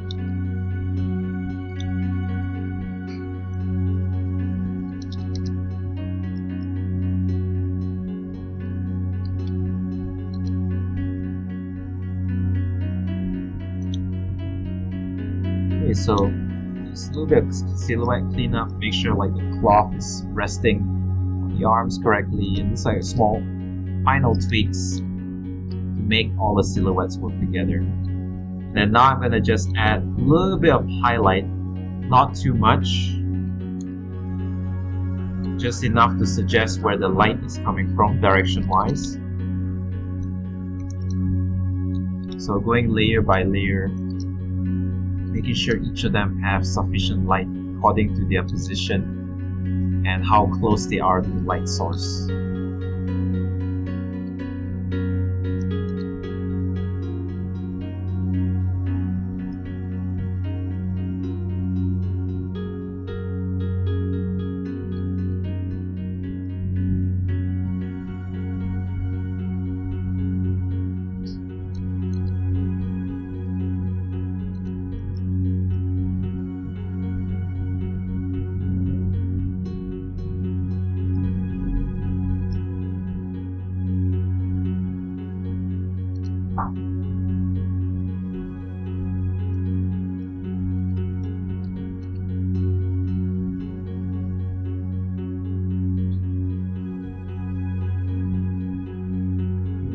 Adjust the values here because I think they're a little bit overexposed. Again, this is why I like to have my materials separated because different color will react to shadow and light differently. If I don't have the layers separated, what might happen is like everything will look too consistent and in, in result might appear a little bit fake looking. So for this part here, the samurai armor, I want the colors to be closer to the chest plate, um, which is this kind of like brownish tone. But I also want to make some small changes to the armor where this part here is just pure black, high gloss black. So high gloss means I'm actually changing the material composition. So I'm gonna have to actually paint like a very bright hot spot here to really make it look like it's a glossy black surface. So this is the only section that I'm actually changing the material just to add more visual interest because I think we have a lot of a lot of the same materials. So I think having this part gloss black would mix up mix it up a little bit nicer.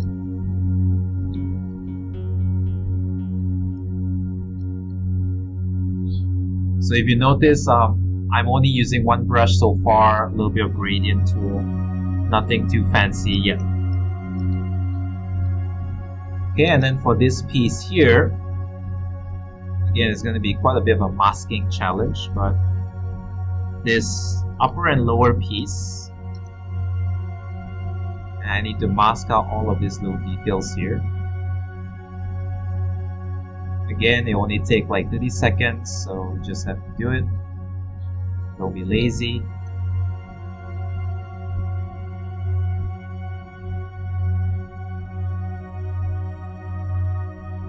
I'm gonna duplicate it out so we have backup.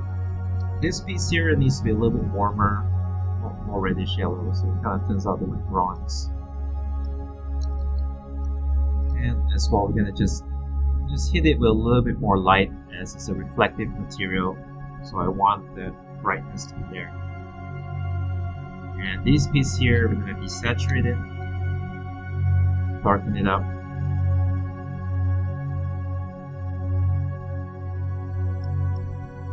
Separate this top as well because these are actually a different material. And I'm going to do the same thing where I'm gonna make this look quite glossy and shiny.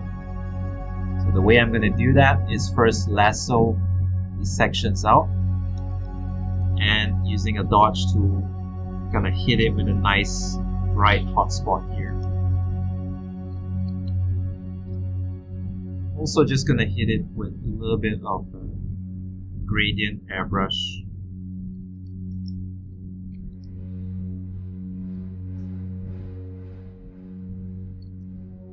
so it looks more convincing. So now that piece looks nicely integrated.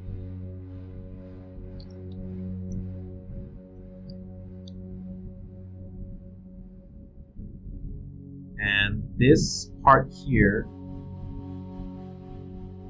oh, where is it? I think it's this guy. Sorry, I lost the layer. This one here, I actually want to make it like maybe reddish color. Well, I think it's this. Let me see. Colorize? Yeah. Okay. I want to make this red. Uh, again, like somewhat matching the red here.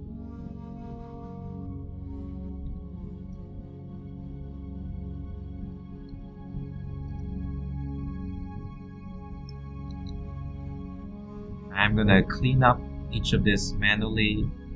It's a little bit tedious as well, but again, very worth it. You want to make the piece convincing. And I noticed it's a bit dirty there, so I'm just gonna use the gradient and kind of clean up the values here.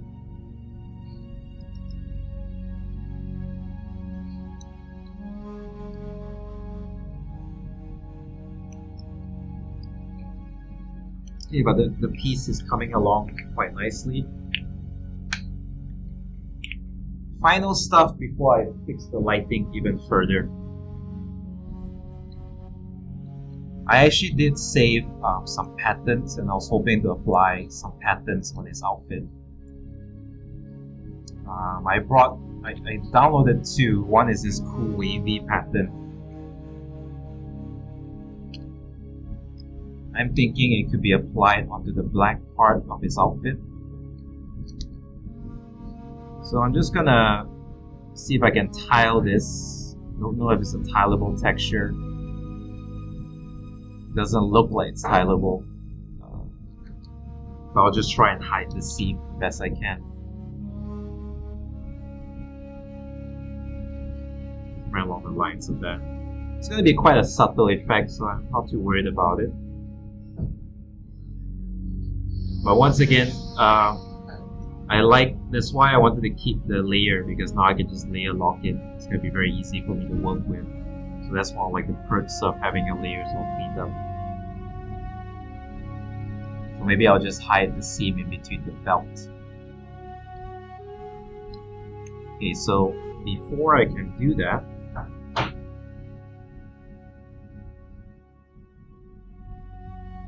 I need to make sure I liquefy it to match the wrinkles of the cloth. So let's liquefy. And our reference is layer 6. It's a little bit more visible. So I just need to kind of move the pattern around so that it generally looks like it's following the flow the wrinkles on my outfit. So here the cloth should be pinching a little bit. And comes to here. And I just reduce the intensity I can drop the intensity. No, it's not intensity. Pressure. There you go yeah so it's a little bit less.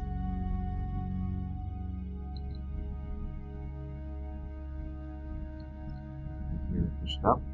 Or that's a little bit too low.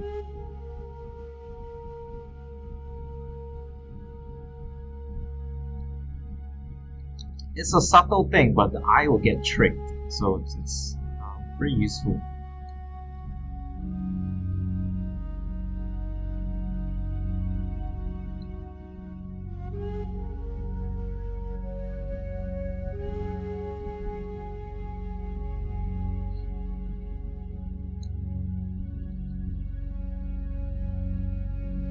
the more um, the more detailed or noisy your pattern is, the more you have to work harder to make sure it, it doesn't look fake. Because definitely what we don't want is the texture looking super flat on the surface, and that would just kind of defeat all of the effort that we put on just now. So you can't really see it, but it's all the, the wrinkles actually being applied. And um, I'm not just gonna use it like that. I'm, I'm, still deciding, but I think one thing that's quite fun is that we could just select all of this, the blue parts, and then I've already selected the blue parts, so they're all inside here. And what I can do is maybe just make them a little bit shinier. So they, it looks like kind of some sort of like a silk pattern it's a very subtle touch when you, when people see this, like they must be wondering, oh, how how do you do that? You paint it in, and that's actually it's a very easy easy step. Right? And if you want to take it a step further, we could we could tint this gold or something like that, just kind of make it more impressive. So I think that's that's kind of cool.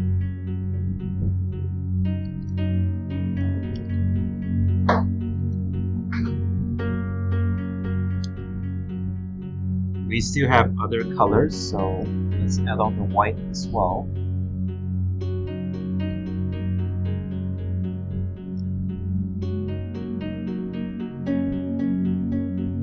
So the white opposite and darken it up. And kind of create that two-tone so it'll make like a really cool effect. Maybe not so much it's gonna be distracting and last bit of things I like to do is just kind of, you know, really go in and make sure all of the shadows are still being honored.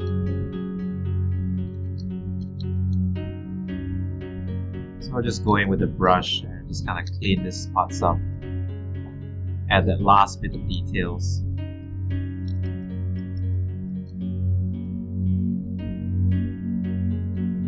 CG work tends to look a little bit too clean sometimes, and that's something that I think is always going to be a challenge. So you always want to like mix it up a little bit texture wise.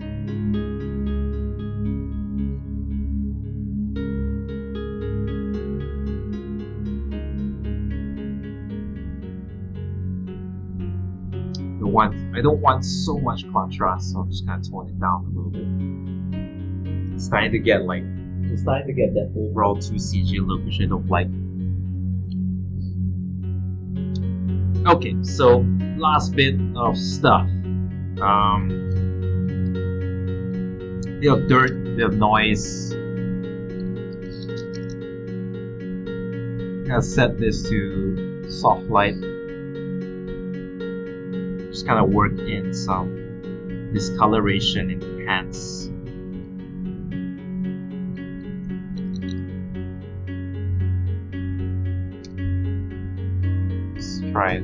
just the shape dynamics a little bit, angle jitter, roundness jitter, size jitter, and just kind of space it out a little bit so we get more variety. But you know, just a little bit of dirt and scuffing just to make the materials just age a little bit nicer.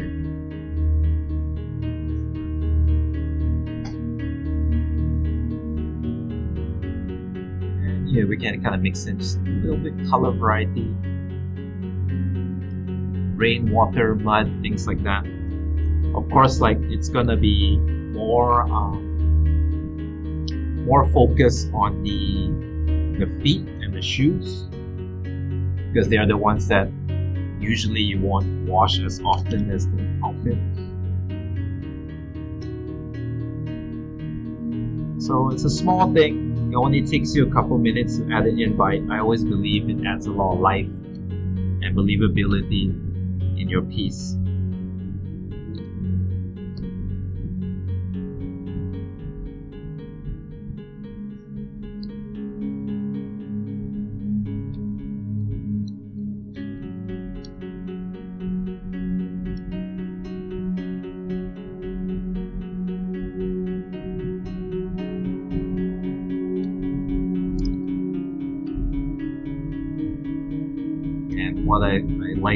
As well is um, okay, hold on. Let me just finish up this third pass.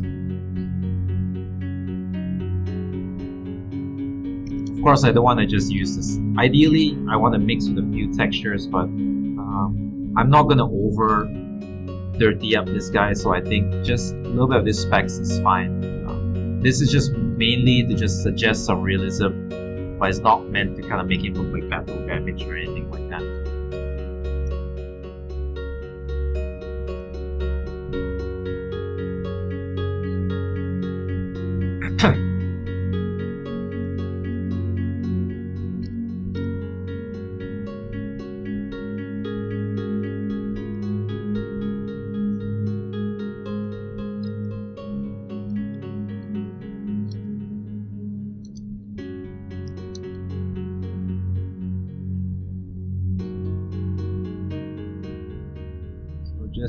notice a little bit of a missing detail here. Oops. There we go. Should be fine. Okay, so let's introduce a little bit more lighting. So I'm going to use uh, just dodge tool. So metals, I can really crank it up.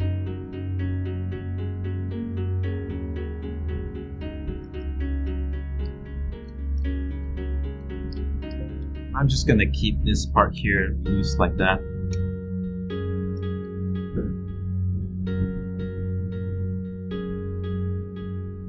But I'm gonna do my best to use the light to just at least add or suggest some detail.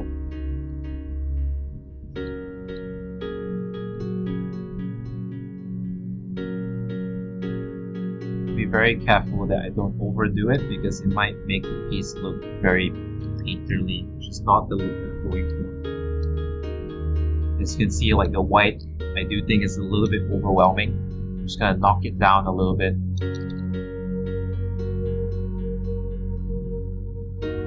So for me, like what I think makes something look realistic is just almost actually the values are very neutral. Nothing looks overly saturated or overly bright. It just kind of like has a very subtle subtlety is kind of like one of the keys I found out that makes concepts or paintings more photoreal.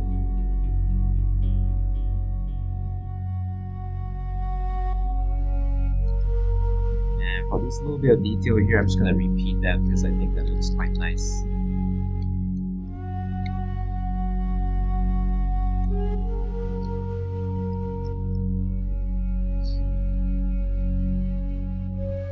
Okay, let's.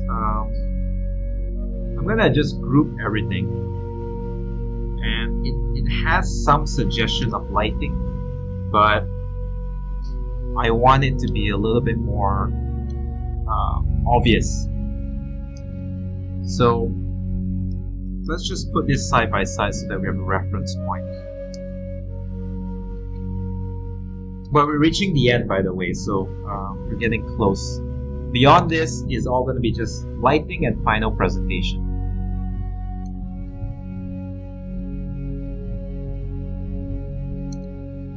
So what I'm going to do here is just using my lasso tool.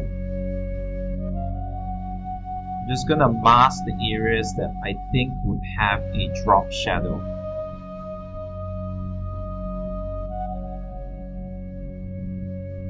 So definitely this shoulder armor is going to cause some kind of like very prominent drop shadow. His neck is actually already in shadow, so that's fine, but I do want like a drop shadow from his head.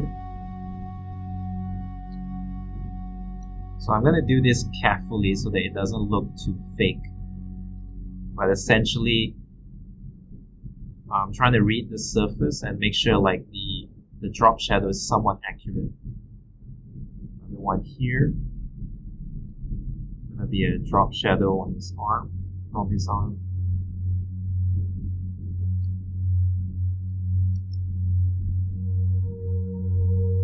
Maybe on the feet from his very big pants. And here on the tassels. And we'll take it step by step. So I will I'm gonna do just maybe more big obvious shadows first before I start to tackle the more softer secondary shadows. So I'm gonna press Shift F6 to feather selection. I think it will try if 10 pixels is too much. So that means maybe just 3 will do. And essentially what I'm gonna do is just darken up these areas a little bit slowly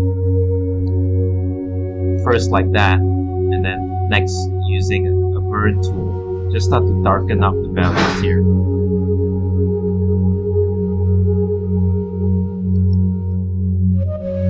So you want to do this just very carefully so that we don't end up you know making it too contrast and end up looking black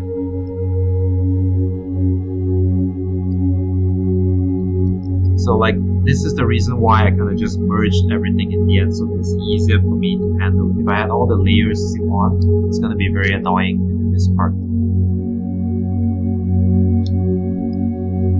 So now we can go into like maybe a little bit more secondary shadows. These ones are going to be more delicate. I'm going to do some face.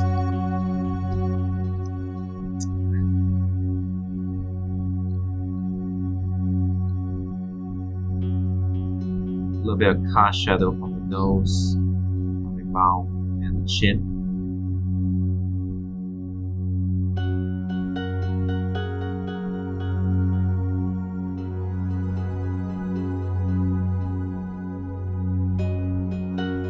So this, ideally, it's supposed to make everything just look a little bit more three-dimensional.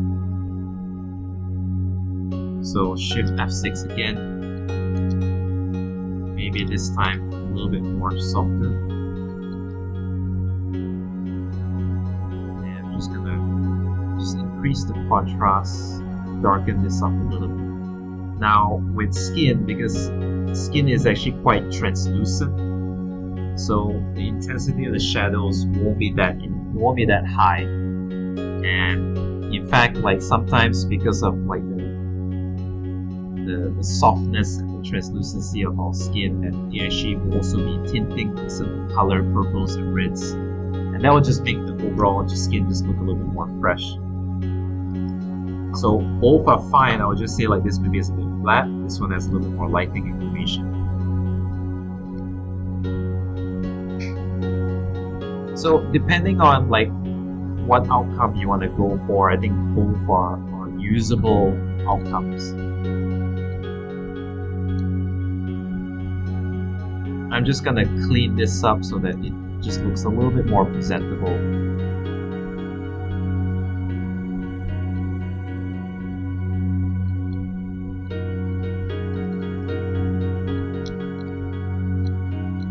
just start to make his skin just a little bit healthier, a little bit more wet.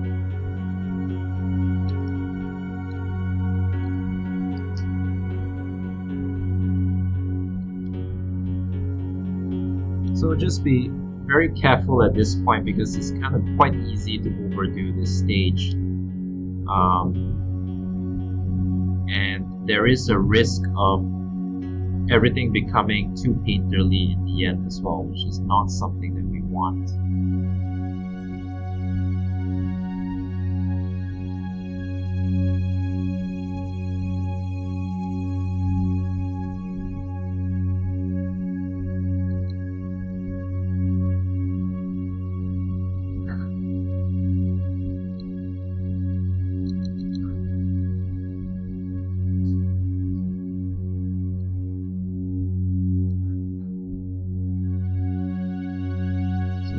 Eyes are the window to the soul. Just want to make sure that I put enough care into it, just get it nicely defined.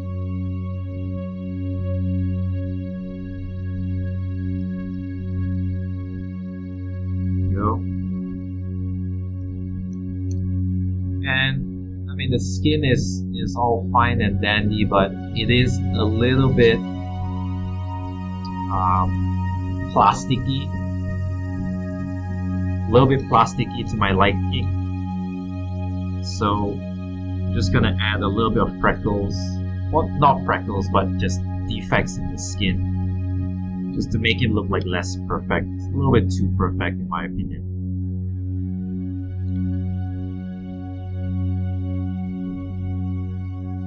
I mean, our base is a supermodel, but so we want to just kind of bring it, bring it down to reality a little bit.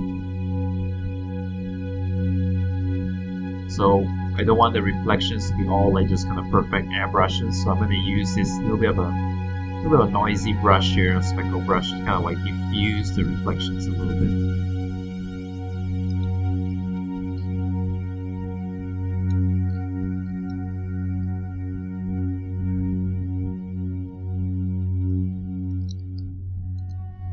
Just just the values here because for some reason it just looks too dark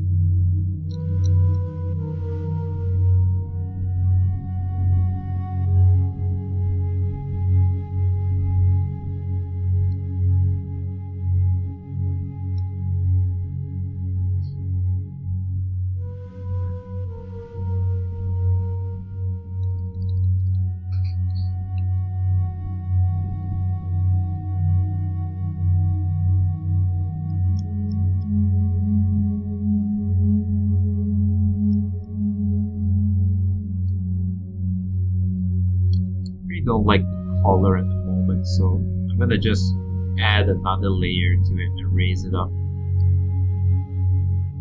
Kind of find it weird that so much neck is being revealed.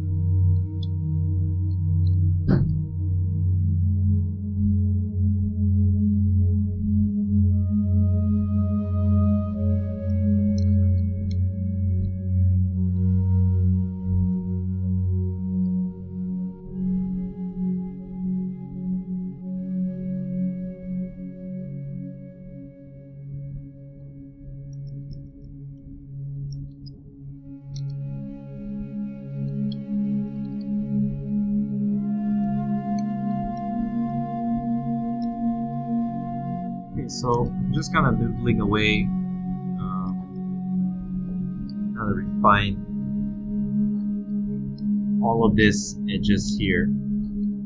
And this will be like kind of the last and the longest stage. This is like the remaining 5% I would say of work to clean everything up, add any missing details, blend the all the photo textures together, add like missing micro details that I think would maybe add more storytelling. So also like you know to fix ugly ugly edges like this.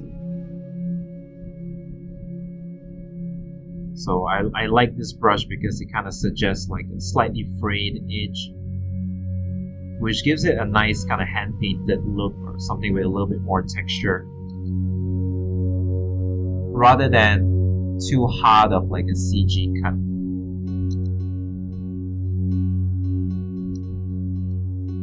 I also would use like the smudge tool.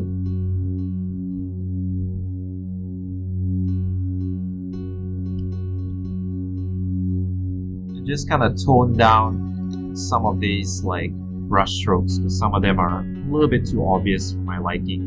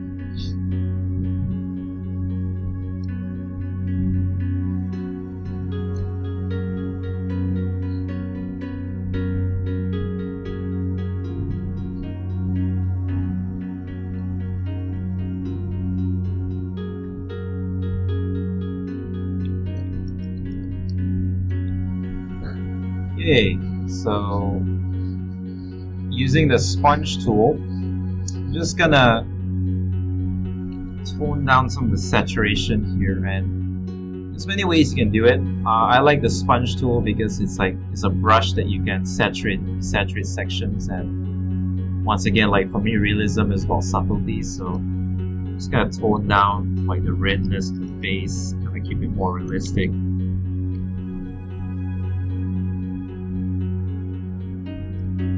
Tone down some of the blues here.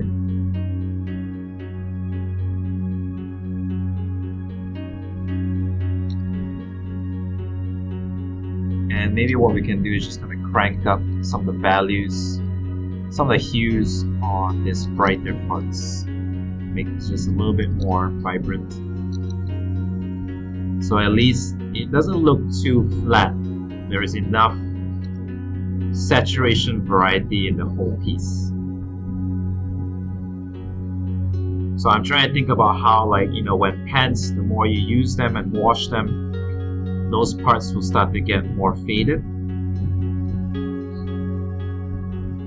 compared to portions like this fabric here and that should remain quite nice and bright because this is like maybe a more expensive piece of fabric.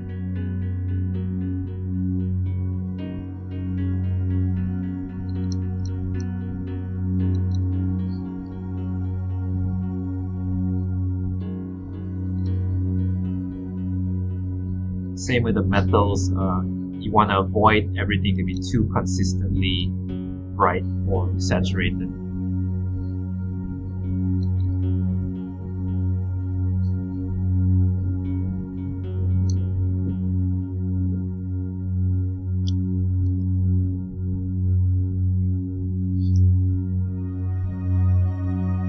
Okay, so let's start to go into presentation. First off, um, let's create a light source.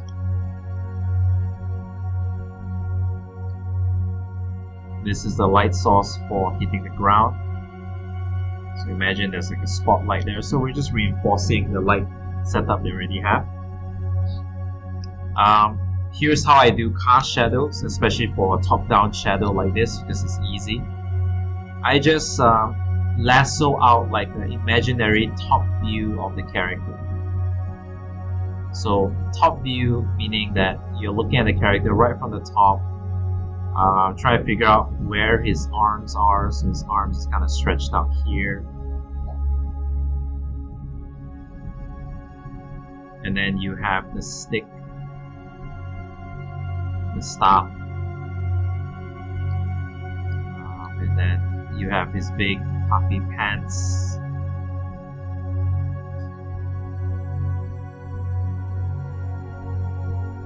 And then a little bit of his feet sticking out. So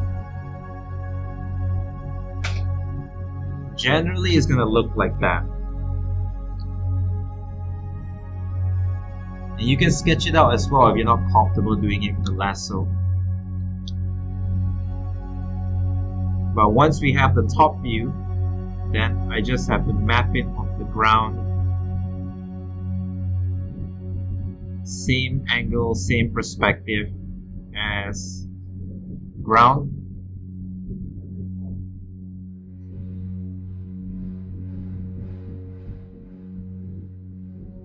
And for the most part, it should be much easier to do it this way. Of course, like it requires a little bit of tweaking, that's a given, but it's a very good base.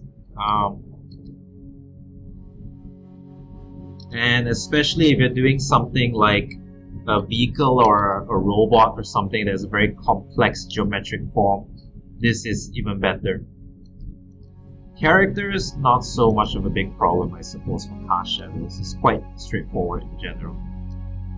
But one thing is I just really want to make sure I get like all these details, with the rings and everything. Just loosely, and I think it, it really adds to the realism of it.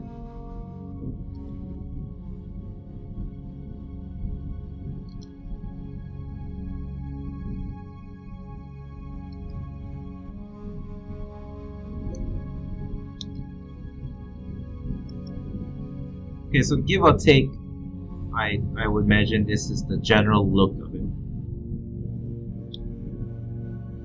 Right, so just keep checking and make sure that kind of feels right.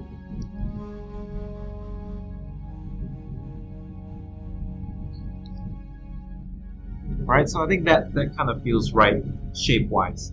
But we know that shadows aren't the shadows aren't going to be this intense because if this the shadow is this dark, you need like a super heavy spotlight. Um, so we're gonna just lighten it, and I already set it to multiply. So when you lighten it, it's gonna just softly touch the ground. And I'm gonna add a motion blur. The direction of the motion blur is depending, so the angle here is based on the angle of the feet. Right, so that's how you decide on what the angle is. And you can use reference of photography as well to kind of help you get like a precise outcome. But generally it's like that. And what I like to do is then start to burn in the occlusion shadows from the feet to the ground. And I find that when I do this, the shadows become way more realistic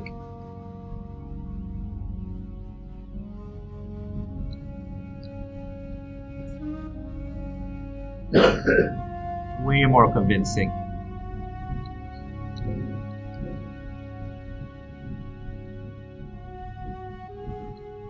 And also, depending on the distance of the shadow with the ground, so some shadows will be softer, some shadows will be darker and harder.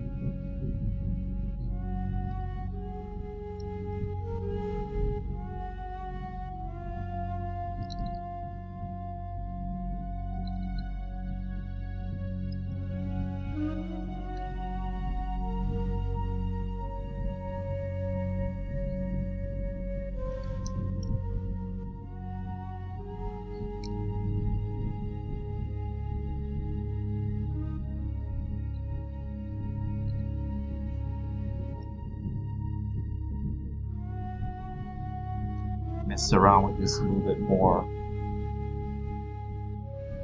Ultimately, it's just kind of like making sure the feeling is right. I think that's the most important one.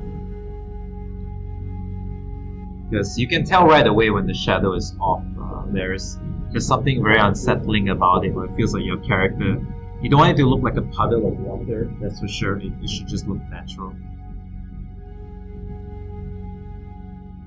And so because our lighting is quite soft and even, so our shadow is actually going to be pretty soft as well.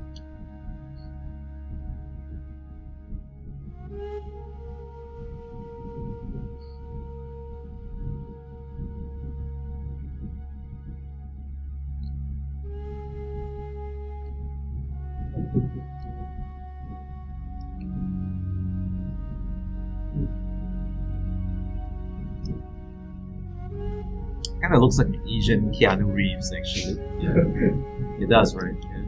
Very strange. That was not part of the plan, for sure. I think so. Yeah, and the expression, that kind of handsome, blank expression.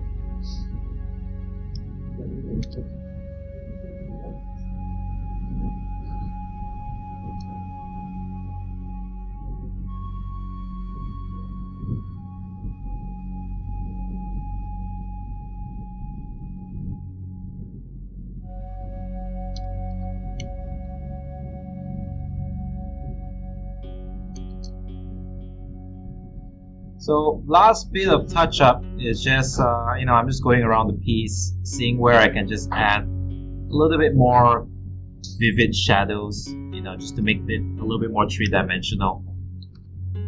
Shadow and light by far one of like the best things to make something look like it has good form. That's usually something that I found uh, is the culprit, you know, that makes your work look flat or unconvincing is the light and shadow. If you can master light and shadow, you can literally paint almost anything.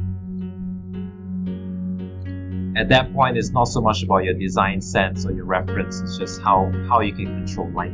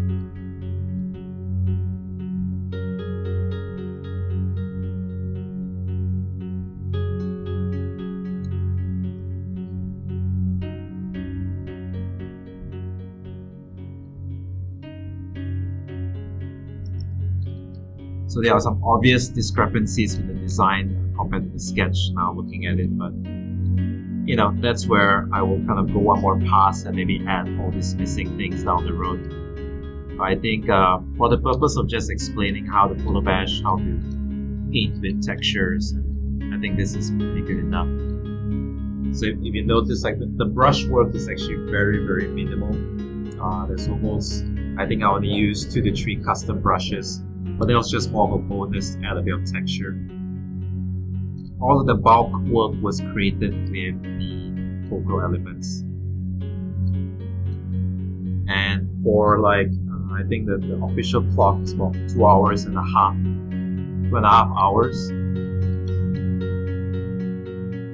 But for this level of finish, so imagine if you you have uh, eight hours of a working day, you can average about two of this a day um, with research, right? And then maybe you spend more time on developing the ideas. So if you want to work for like film or games and there's a higher turnaround, showing this, I mean, within like a few hours is really good. And I could actually make the finishing more rough and maybe do three or four per day, which is my normal output. So I'll do like something like this for four options a day, but just a little bit less finishing, um, so that like you can see everything in color right away. But I would say this is like maybe midway, like about 60% finished, and uh, then the final 40% will be just adding all the missing stuff, extra details and things like that.